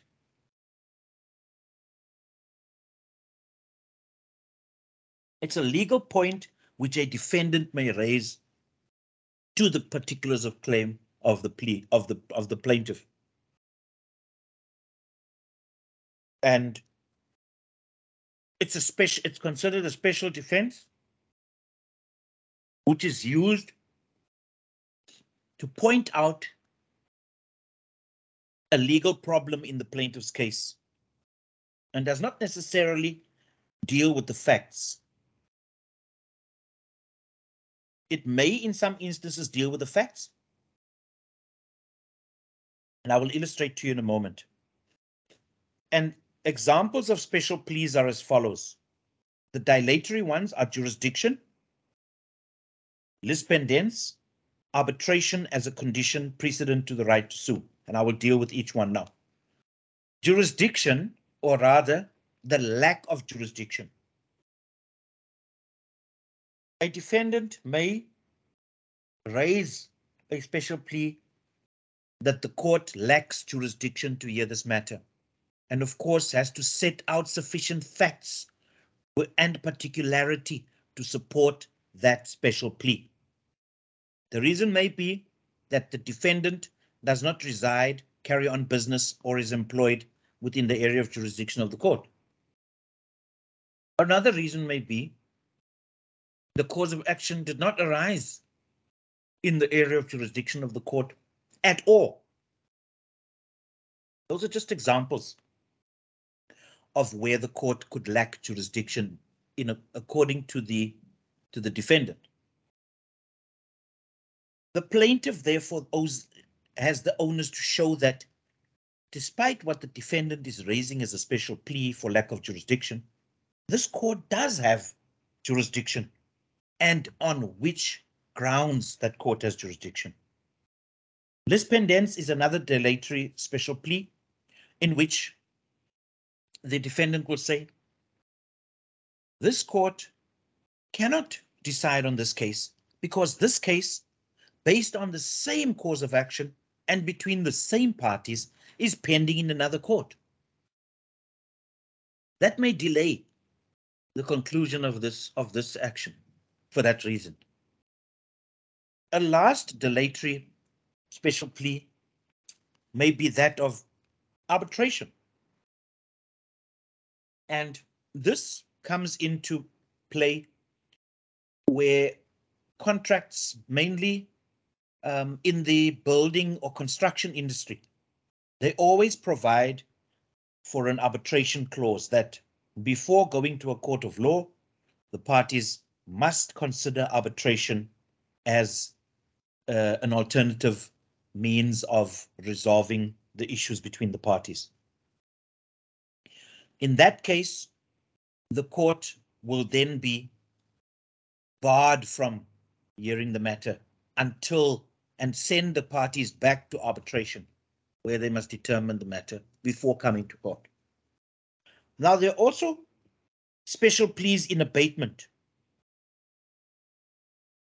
Now, these, these claims will summarily stop the action right there. And, the, and one example of a special plea in abatement is prescription and the limitation of actions. Prescription, in terms of the Prescription Act 68 of 1969, relates to the time frames within which a party must institute legal proceedings. And generally, in respect of debts, the time period is three years within which a party must bring that action to court. Unless, of course, for some reason, the party was not able to do so. But where a party raises a special plea that since the cause of action arose, three-year period has lapsed, and the party can no longer institute the claim because the claim has prescribed. If the plaintiff cannot show why they did not institute the claim within the prescribed period of three years, the defendant may succeed on the special plea of prescription and have the claim of the, the, the plaintiff dismissed with costs because it has prescribed. The last special plea in abatement is that of res judicata. In other words, the defendant will say to the plaintiff, by the way, this case, this claim which you have, which you have instituted against me has been finalized in another court already. There's a judgment, there's an order in respect of that case, and it's on the same cause of action and it's the same parties, but it has been finalized. So you cannot now bring this action in this court. Where the court finds that is the case, that case will be dismissed with costs against the plaintiff. Now, your special plea will be contained in your plea on the merits. When you start out your plea, in your drafting, you'll have your heading and you'll have your you'll have the parties, the names of the parties, the court, the names of the parties, the case number, and the heading, special plea and plea, and plea over. You will start by setting out your special plea. The defendant raises the following special pleas. One, jurisdiction, lack of jurisdiction. Two, prescription. Three, lis pendens. You can name as many special, you can deal with as many special pleas in a plea. And when you have done dealing with your special pleas in your same document, at the bottom thereof, you say, in the event that the Honorable Court does not uphold the above special pleas, the defendant pleads over as follows. Then in your plea below the special plea, you will respond to the individual paragraphs in the plaintiff's particulars of claim. So your special plea and your plea will be contained in one document. I see there is a question by Emily. Can I then say a special plea may be raised where the plaintiff has failed to comply with the statutory requirements or rules?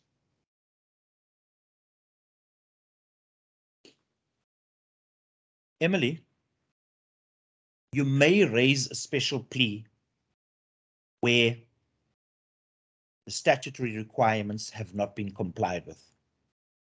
And one such example is the failure by a plaintiff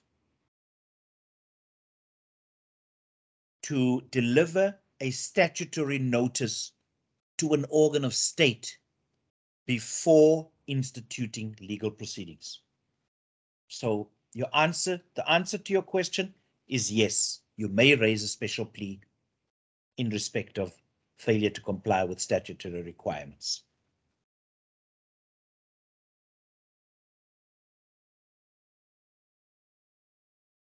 Now we are moving on to summary judgment. What is summary judgment? We've spoken about default judgment. We're now going to speak about summary judgment. And summary judgment is just what the word summary suggests. It is an expedient remedy available to a plaintiff where it is clear or where it becomes evident that the defendant has entered an appearance to defend merely for purposes of delay. But you have to, in order to bring such a summary judgment, you may only do so where your claim is in respect of a liquid document or in respect of a liquidated amount of money or for the delivery of specified movable property or lastly for ejectment. Those are the only cases in which you may apply for summary judgment after the plaint the defendant has entered appearance to defend. And that application for summary judgment must be delivered to the defendant or their attorneys within 15 days of the service of the plaintiff on the plaintiff of the plea. So previously, you could bring a summary judgment application after the defendant has filed an appearance to defend. There has since been amendment of the rules on the 1st of July 2019 that before a plaintiff can bring an application for summary judgment, the defendant must first file a plea. And if it becomes apparent from that plea that the defendant has not disclosed a, a bona fide defense, the plaintiff may apply for summary judgment against the defendant.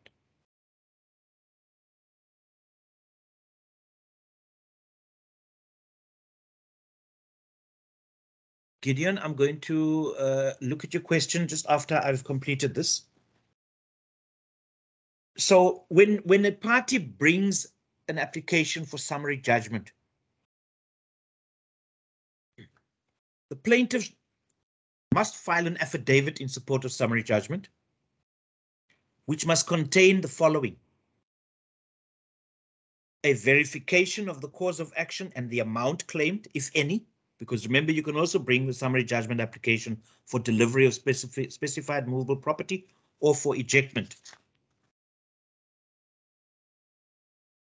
You must also, it must, your affidavit must also contain an identification of any point of law upon which the plaintiff relies. It must also contain a statement of facts upon which the plaintiff's claim is based and a brief explanation why the defense as pleaded does not raise an issue for trial or a defense to the plaintiff's claim. In your affidavit, you must also make the allegation that you are relying on a liquid document if it is based on that document. And you must attach that document to your affidavit if you have not attached it to your particulars of claim already, or your summons.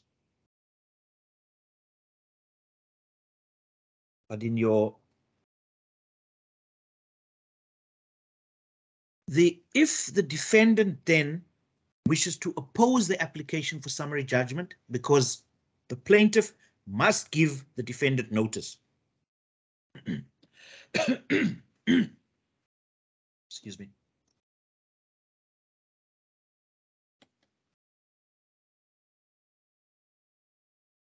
The defendant may then file an opposing affidavit. Take note, it's not an answering affidavit, it is called an opposing affidavit. And because summary judgment is an expedient remedy, no further affidavits are permitted in a summary judgment application. And judgment application will be heard in the unopposed motion court. It does not get postponed to be moved to the to the opposed court. It is argued in the unopposed motion court. And in most cases, the magistrate is able to give an extempore judgment after the, the, the summary judgment application has been argued in court. It's that simple and it's that expedient.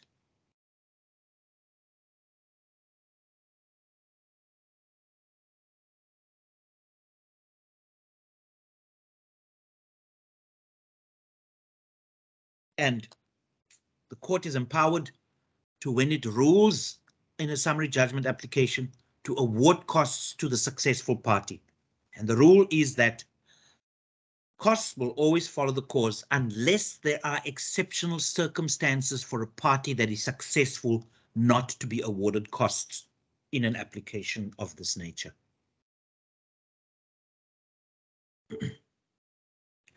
Mr. Gideon Somdaga.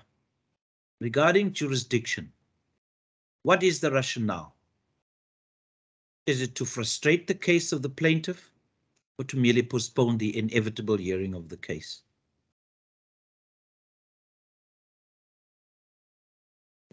Sir, jurisdiction is an established legal principle of our law. And in order and jurisdiction is the competence of a court to hear a case. If there was no jurisdiction, there would be no reason or reasonableness, reasonableness in litigation.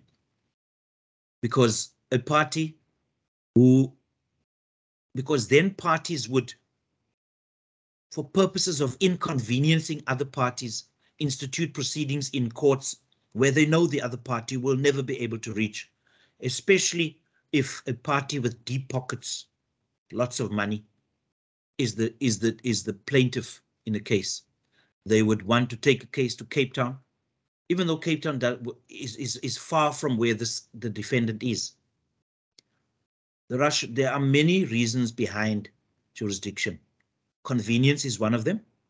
Convenience for the defendant and no inconvenience for the defendant as well.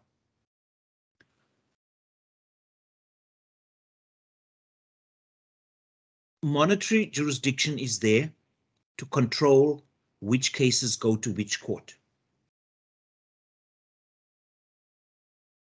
So it's not for purposes of postponing or the hearing of the case, not whatsoever. And it's not to frustrate the case of the plaintiff either. The plaintiff needs to do his or her research when they decide to initiate legal proceedings and for that reason, they have to choose the correct forum for their case. And if you choose the wrong forum, then it is your problem. Then you frustrate your, your own case by choosing the wrong forum because the other party can choose, can raise jurisdiction or lack thereof when they defend that case. And that is why we have rules and legislation, which are the authority for how we do things in our courts. And if those rules are not followed, then, then the courts will lose authority. I hope that is that has explained it to you sufficiently enough. But thank you for your question.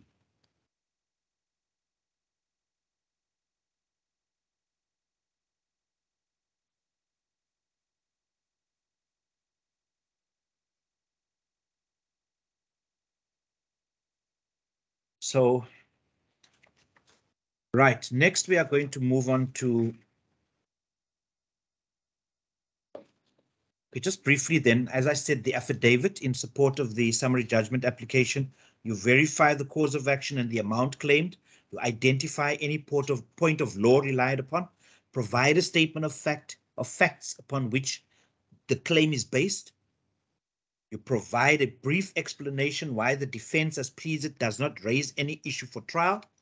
And lastly, what can the defendant do when judgment application is delivered a defendant can or may give security to the plaintiff for the satisfaction of the court for any judgment, including costs, which may be given. Or the defendant may satisfy the court on affidavit. I mean, the, the, that the defendant does have a bona fide defense. And, in, and where that is the case, disclose fully the nature and the grounds of that defense. Previously, there was no need for the defendant to even disclose the defense, but merely make the allegation that he does, he or she does have a bona fide defense. But that that has now been developed now, and the courts actually require as much as a disclosure of the actual defense that the, that the defendant intends to raise in his plea in the summary judgment application in order for the court to make an informed decision. So that answering affidavit or the or the opposing affidavit must be filed within five days before the hearing of the application.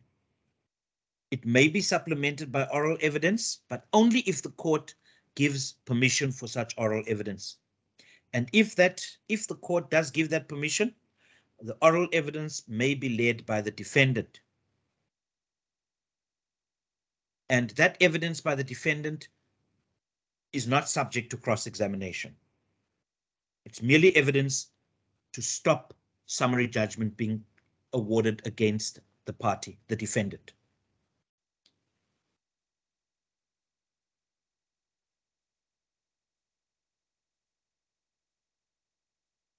Please make sure that your mics are on mute unless you want to say something. I hear someone's sound in the background.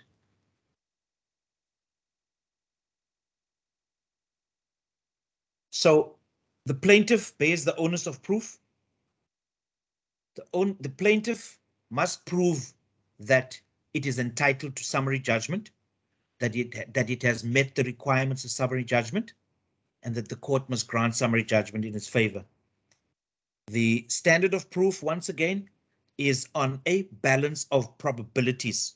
It's a civil case, not like a criminal case where you need to do it beyond reasonable doubt. In a, it is it is only on a balance of probabilities. If the court believes that the plaintiff has proved his case, the court may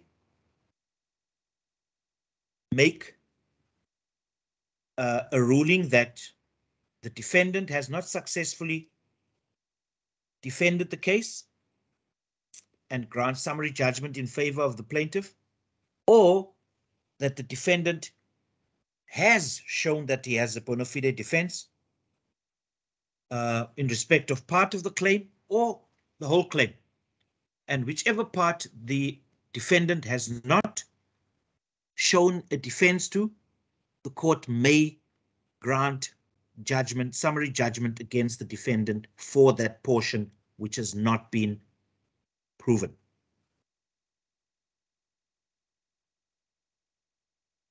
So therefore, the defendant will therefore, if the summary judgment is not successful, the defendant will be granted leave to defend the action and therefore to file the respective pleadings in respect of the defense, which is the plea and or special pleas. But if the court does not find that there's a bona fide defense to the summary judgment application, the court will grant summary judgment against the defendant on the whole claim or on the part of the claim that the plaintiff has proved.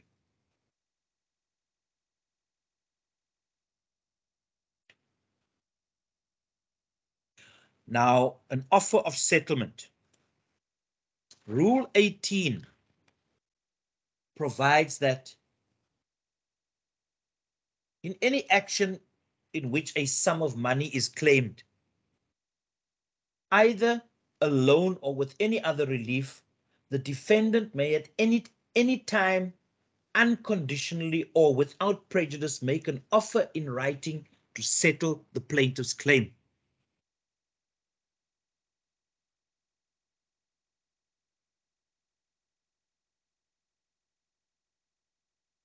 And where the defendant makes an offer in writing. If that defendant is represented by a legal representative, the offer must be signed by that defendant or by his legal representative and or himself. And if the legal practitioner signs on behalf of the defendant, the legal practitioner must state that he or she is authorized to make such offer of settlement on behalf of that defendant.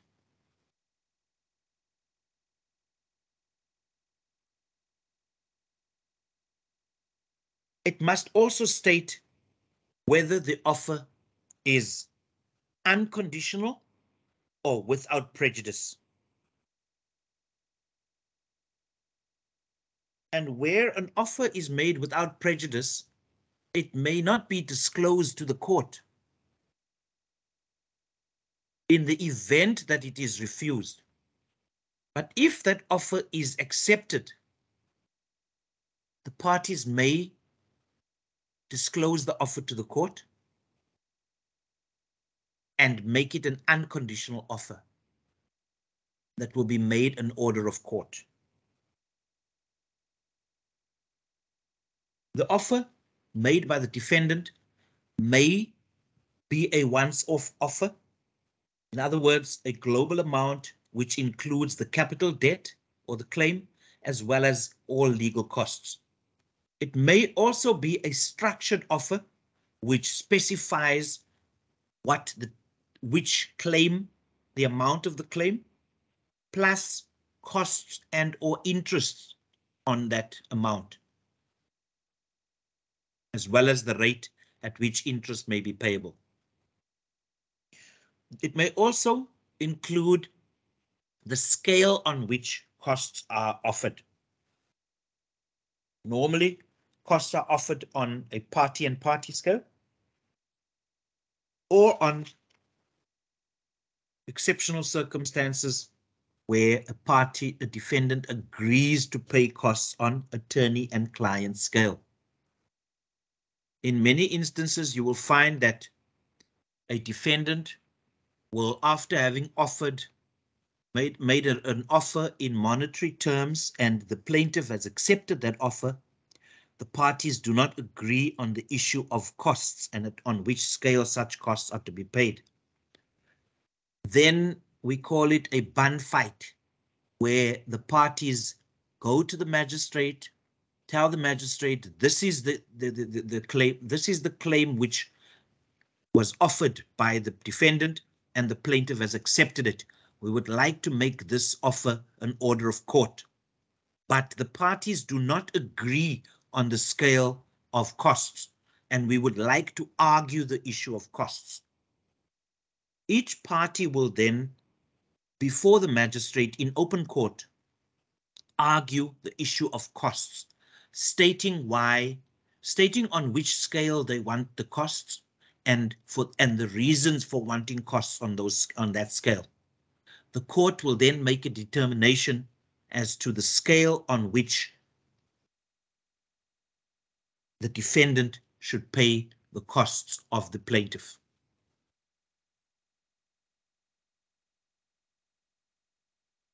I see a hand, Nikki Tasker. I hope I'm pronouncing it correctly.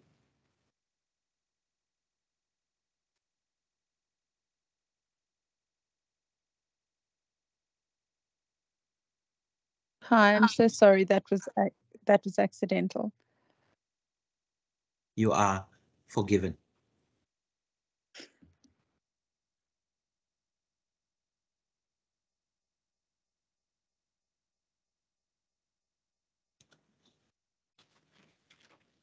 You may put your hand down, Nikki.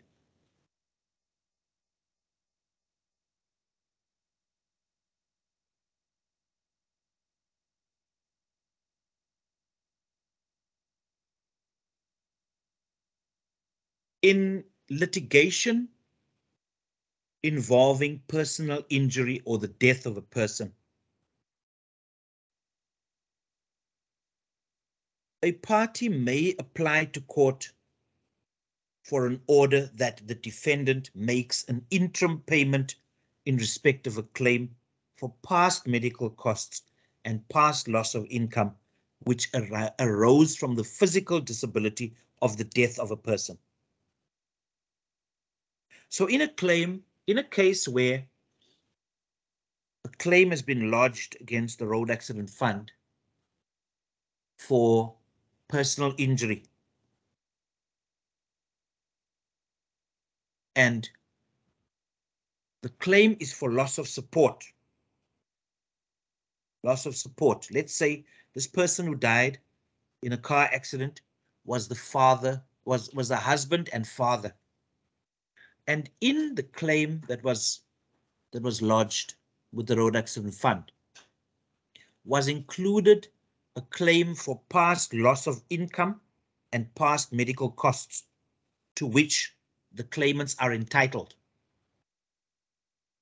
But because there is litigation that is pending, there's an action that is pending before the court, it may take a very long time for the court to come to a decision should the matter go to trial. The issue of liability is not an issue, is not disputed.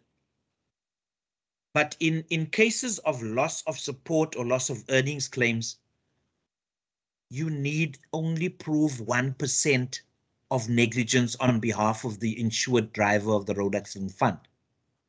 And where that is the case, such as in this case, in fact, the fault principle has been totally removed by the road accident fund. And loss of support claims are no longer defended. The plaintiffs then, the wife and the, the surviving wife and the children, may apply to the court for an interim payment of that claim for loss of income, past loss of income. In other words, what would he have earned from the date of death until now? And also for medical expenses they incurred from the date of the accident until now they have the right in terms of rule 18A, capital A, to apply to the court for such interim payment. And normally the defendants, the RAF, do not, the Road Accident Fund does not oppose such applications for such interim payment. The issue, it does become an issue where no request was made before going to court. Because normally the parties, the plaintiff's legal representative would write a letter to the road accident funds setting out a request for interim payment and the road accident fund not responding to such a request would lead to an application of this nature for interim payment. And in the application, which is supported by an affidavit, the, the, the plaintiff will say, or the applicant will say, we, I have requested an interim payment from the road accident fund of this amount of money. And these are the reasons why I believe I'm entitled to it. And the Road Accident Fund has refused or failed to even respond to my letter and forced me to come to court. And for that reason, I am seeking costs against the Road Accident Fund for bringing this application. Had it not been for their failure or refusal or neglect to respond to my request in writing, I would not have come to court. And for that reason, I want costs, legal costs on an attorney and client scale. I do not believe that I should be out of pocket because of the supine attitude of the Road Accident Fund. The court will gladly award costs on an attorney and client scale in those circumstances.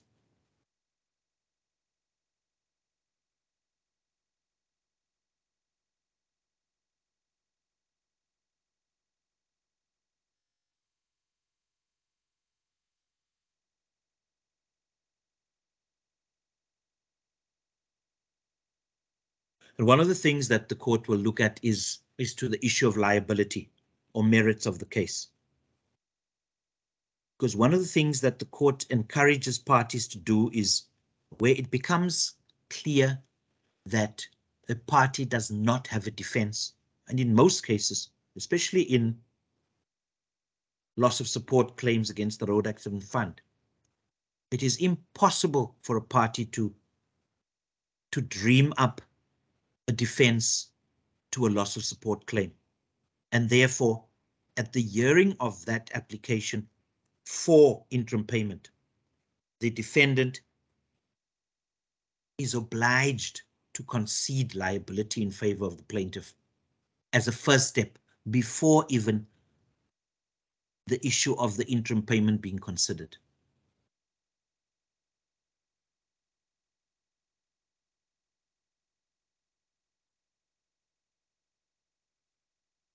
Right. Any questions?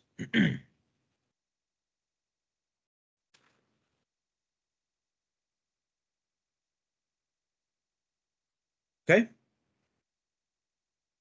Sorry, yes, uh, yes, I have a question. May I? It's Nasser again. Yes, Nasser. All right. Uh, with reference to a, a, summary judgment, now you did mention that um, in an application for a summary judgment, and if it's based on a liquid document, we attach that liquid document to all the uh, necessary documents uh, when we make an application for summary judgment. So I just want to understand why would one go down the route of uh, a summary judgment, uh, you know, uh, together with its uh, prior pleadings and all of that, if one has the option of actually going for a provisional sentence on a uh, on a liquid document. Wouldn't the wouldn't the latter be uh, the more appropriate route?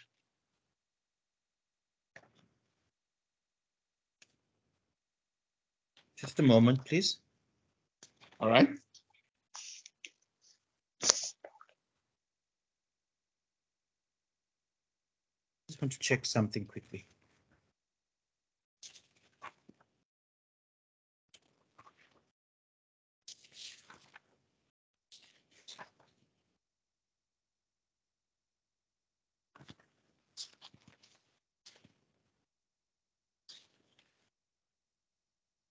You see, when you are at the point of summary judgment, because you have to decide before instituting proceedings if you are going to go simple summons route, combined summons route, or provisional sentence summons route. We are at the stage now of a simple summons. Let's say simple summons because it's a liquid document. And in the case of a simple summons, you have to go through the whole rigmarole because if the defendant defends the action, you have to file a declaration. And then they only plead to the declaration once it's filed. But in our scenario, we have gone combined summons with particulars of claim. And that is why we've gone for summary judgment because the defendant is now opted to defend the action and file a plea. because the rule requires that he first files a plea. so whether you so so whether you had the option of of going provisional sentence summons route is is neither here nor there because it's too late now. That horse is bolted, remember. So it's now a question of the decision that you have made. Had he gone provisional sentence summons route, he would not have had this issue. And you are quite right when you say that. But remember, we are already at summary judgment stage now because he had already decided he's going the combined summons route. And only then did he realize that the, the, the defendant has now defended the action and he only has summary judgment left as, as a cause of action. A course, not a cause, a course of action. Does it make sense? Yeah, it makes absolute sense. Uh, just, uh, so basically, he's proceeded to a point where he can only go for a summary judgment. But uh, again, my my question is around whether the plaintiff, the plaintiff's options at the start of uh, his uh, litigation would have favored going for a provisional sentence if he was sitting with a liquid document. No, the, for the sure. fact that he, yeah, okay, For sure, but I was just illustrating to you that it's because of the choice he made that he's now in the situation that he's in. Had he hundred percent chosen- understood. Had he chosen provisional sentence summons in the beginning, then he would not have been in the in, in, in the position that he is in now. So yes, you Clear, are quite under- right. You are quite right. It's it's a question of deciding which route to take at that appropriate time. Appreciate it. Thank you so much. Thank you for your question.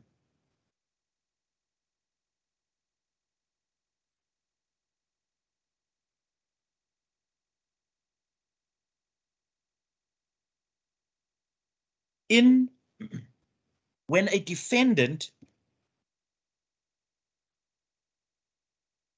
defends an action, it may transpire that in respect of the same cause of action or a related cause of action, the defendant has a counterclaim against the plaintiff. And I will make an example for you. The plaintiff sold and delivered to the defendant fuel on a on a on a on a contract basis. And the agreement is that the defendant will pay his account to the plaintiff at the end of the month. So the plaintiff then fills in fuel the first month. At the end of the month, because he owns he owns a fleet of trucks. At the end of the month, his fuel bill comes to 300,000 rands. He then pays it on the first day of each of that month. The second month, his fuel bill comes to 350,000 rands. He then fails to pay for that fuel after 30 days. Another 30 days go by and he still fails to pay.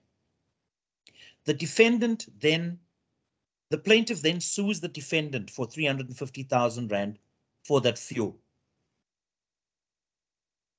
When the defendant receives the summons, by the time the defendant receives the summons, he realized this that one of his trucks had become damaged because water had been poured into his petrol into into the, the tank of his of his truck instead of diesel. And as a result of that, the truck has the truck has now become damaged. And the and the costs of repair of that damage amount to a hundred thousand rands.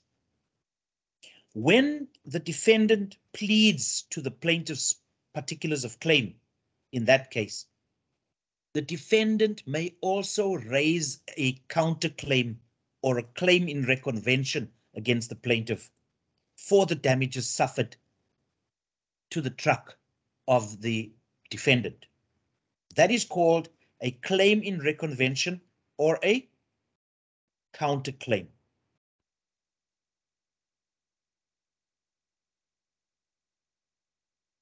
And those two claims will be considered at the same time at the hearing of the case. When the case, if the case does become defended, if the defendant does not admit liability for the 350,000 rands, the plaintiff will have to prove his case. And if the and if the plaintiff cannot refute the claim of the defendant or, or does dispute the claim of the defendant for the damages to the truck, the defendant will have to lead evidence or provide evidence to the court to support his claim for the damage to his truck. I hope that clarifies um, counterclaim or claim in reconvention. Now, after the defendant has filed a plea, the plaintiff has the option to file a replication. And a replication is a pleading which is filed in response to a plea where it becomes apparent that the plea raises an issue which has not been adequately addressed in the particulars of claim or the summons. And I'll make an example. The defendant raises a special plea that the plaintiff's claim has prescribed and states the cause of action. The plaintiff now has the opportunity in the replication to state why the claim has not prescribed. May plead something to the following effect. In the special plea, the defendant alleges that the plaintiff's claim has prescribed. In support of this allegation, the plaintiff, the defendant has stated that the cause of action arose on 20th August 2018. This is disputed. The cause of action arose on the 12th of December 2021. This is the date on which the plaintiff became aware that he has a claim and has and such claim is against the defendant. That may distinguish that special plea, the replication. And that is an example of when it becomes necessary to file a replication. Unless there is an issue to be taken by the plaintiff, the plaintiff may not just willy-nilly file a replication if nothing has been placed in dispute. Now, because the, the, the defendant has instituted a counterclaim in our example with the fuel and the water and the truck that broke down, the plaintiff has an opportunity, or rather, the plaintiff is, is, is, is obliged to file a plea to that counterclaim or the claim in reconvention. And in that plea, the plaintiff will, in a similar fashion as would a defendant to a particulars of claim, admit, deny, confess, and avoid the allegations made in the counterclaim or the claim in reconvention.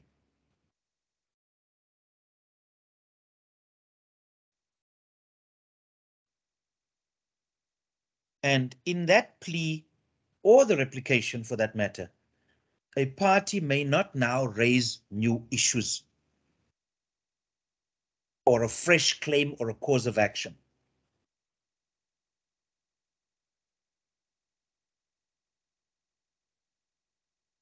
Now, after the plea has been filed or, or the replication has been filed,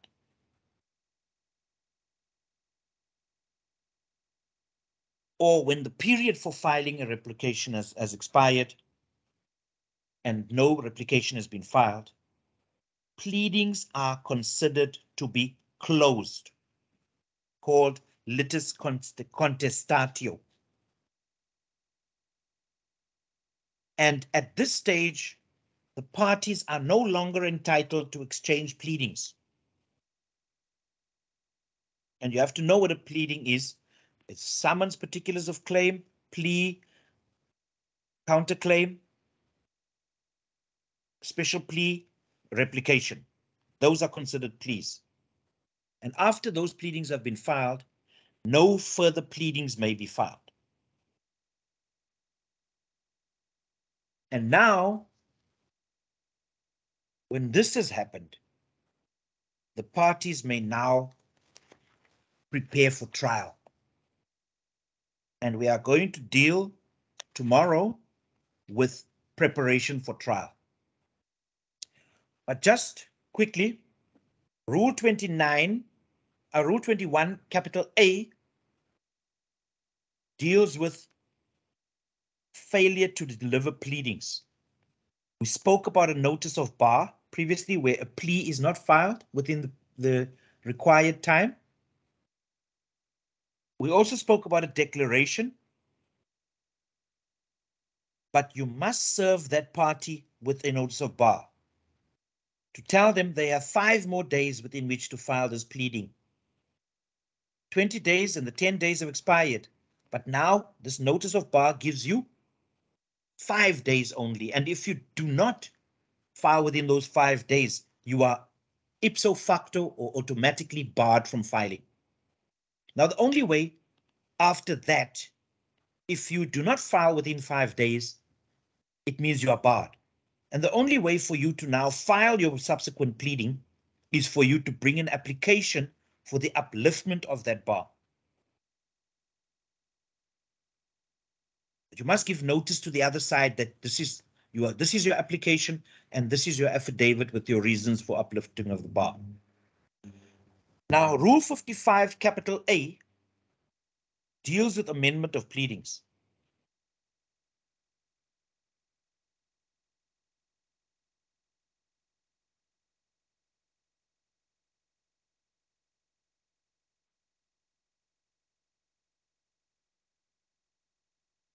If you want to amend any pleading, you must give your opponent notice that you want to amend your pleading. And you must set out the respects in which you want to amend that pleading. And serve that on your opponent. It's a notice of intention to amend. And in your pleading, you must also say, if you do not object, if you wish to object to this amendment, you must do so within 10 days in writing, and you must set out the reasons for your objection. But if you do not object within 10 days of receiving this notice, the, the, the amendment will be so effected. And if there is no objection within 10 days, then you file the amended pleading that you wish to amend. But if there is an objection, and that objection is not valid, you may bring an application to the court to say, I've filed a notice of intention to amend. They've objected. They've not given sufficient grounds for the objection. I ask that the objection be struck out and that I be granted leave to file the amended pleading. And then immediately you may file your once and the court will then tell you that you may file your amended pleading thereafter. Okay, that's that's called an interlocutory application because there are already existing an and there's an existing action proceeding that's pending. Now there is this is called an interlocutory. It's inside, it's within an existing action proceeding.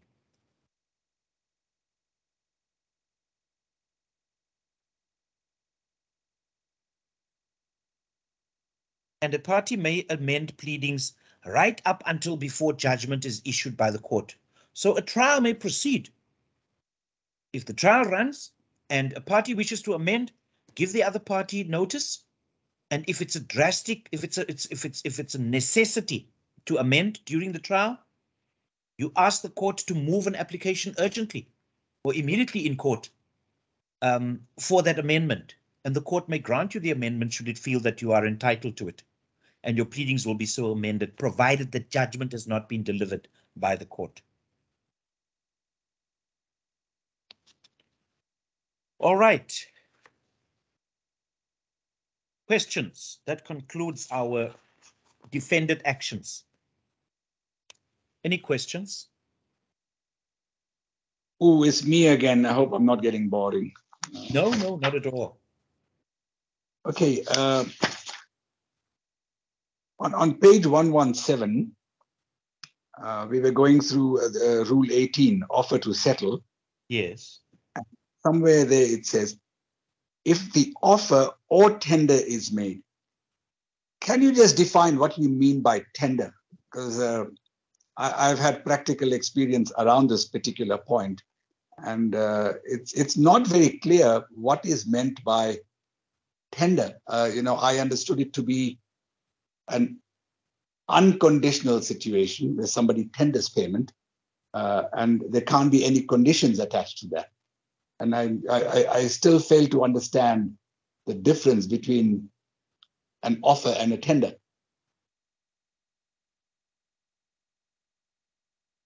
Okay.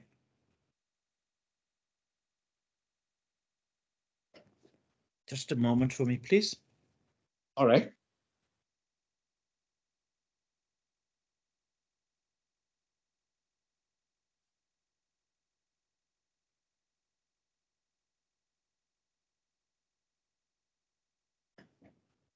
I would say this is this is tautology.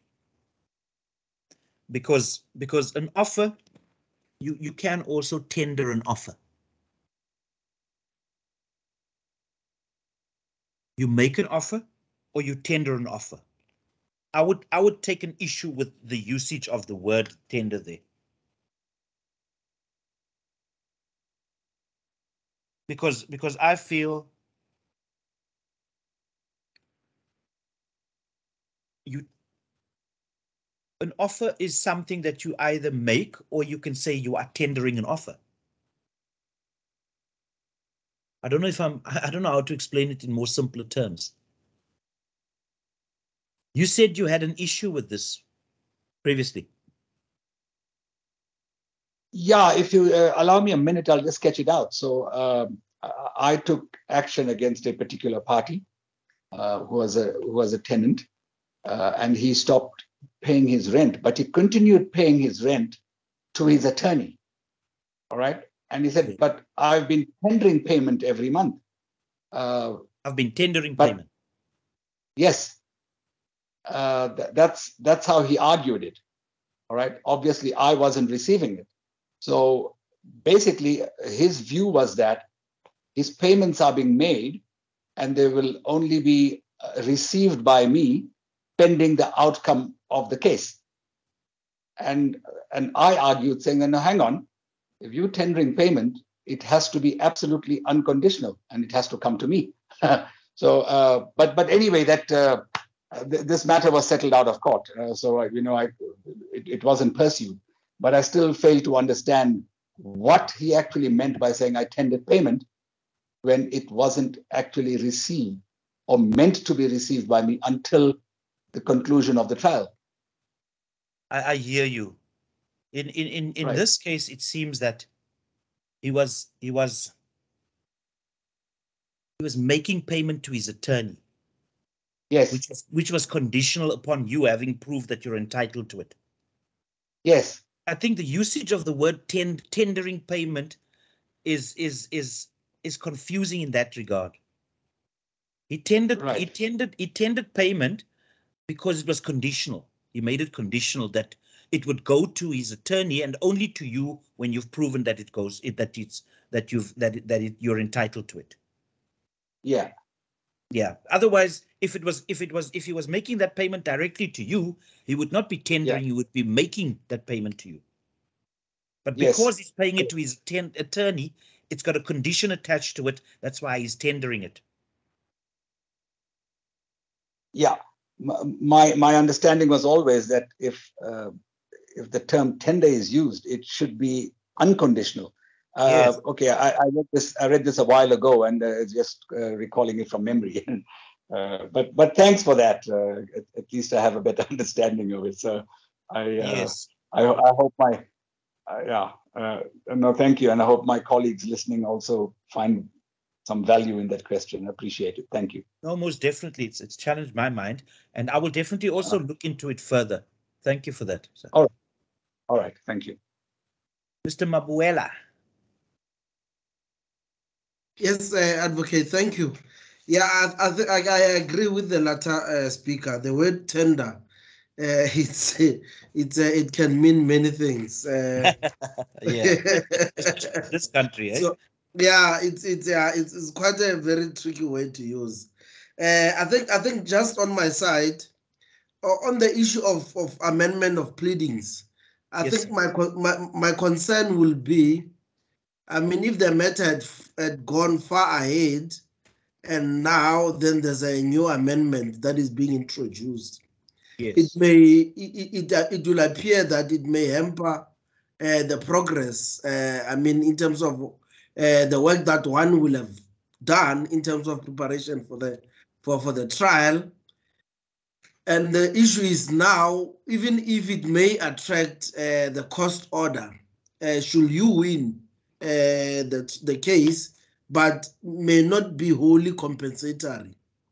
So it may mean that maybe the court may not allow it on that basis, or or or it will just have to be. Uh, I should pin my hopes on the on the compensation in terms of the cost order. Thank you. Thank you, sir. Not necessarily, because if if a party amends or is given the right leave to amend during the proceedings, the opposing party also has the opportunity to effect a consequential amendment. For instance, the defendant during the proceedings decides to amend his plea. That will sorry, the, the plaintiff decides to amend his particulars of claim. Out of necessity, the defendant must, and of fairness, the plaintiff must be given an opportunity to file a consequential plea to address the issue that has just been amended. So as much as facts may change and the pleadings may change, the opposing party is always given the opportunity to file a consequential pleading in response to what has been amended. In all fairness. I don't know if I've addressed your question. Yes, you did, Advocate. Thank you. Thank you, sir. On the issue of offer and tender, I will look into it and tomorrow I will I will I will have a more considered response for you. But thank you very much. And uh, good luck to those preparing for load shedding at nine. I'm one of them. And uh, have a good evening, all of you, until tomorrow. Thank you. Thank you very much. Good night. Good Thank night. you, Advocate. Good night. Okay, okay bye-bye. Thanks, Advocate.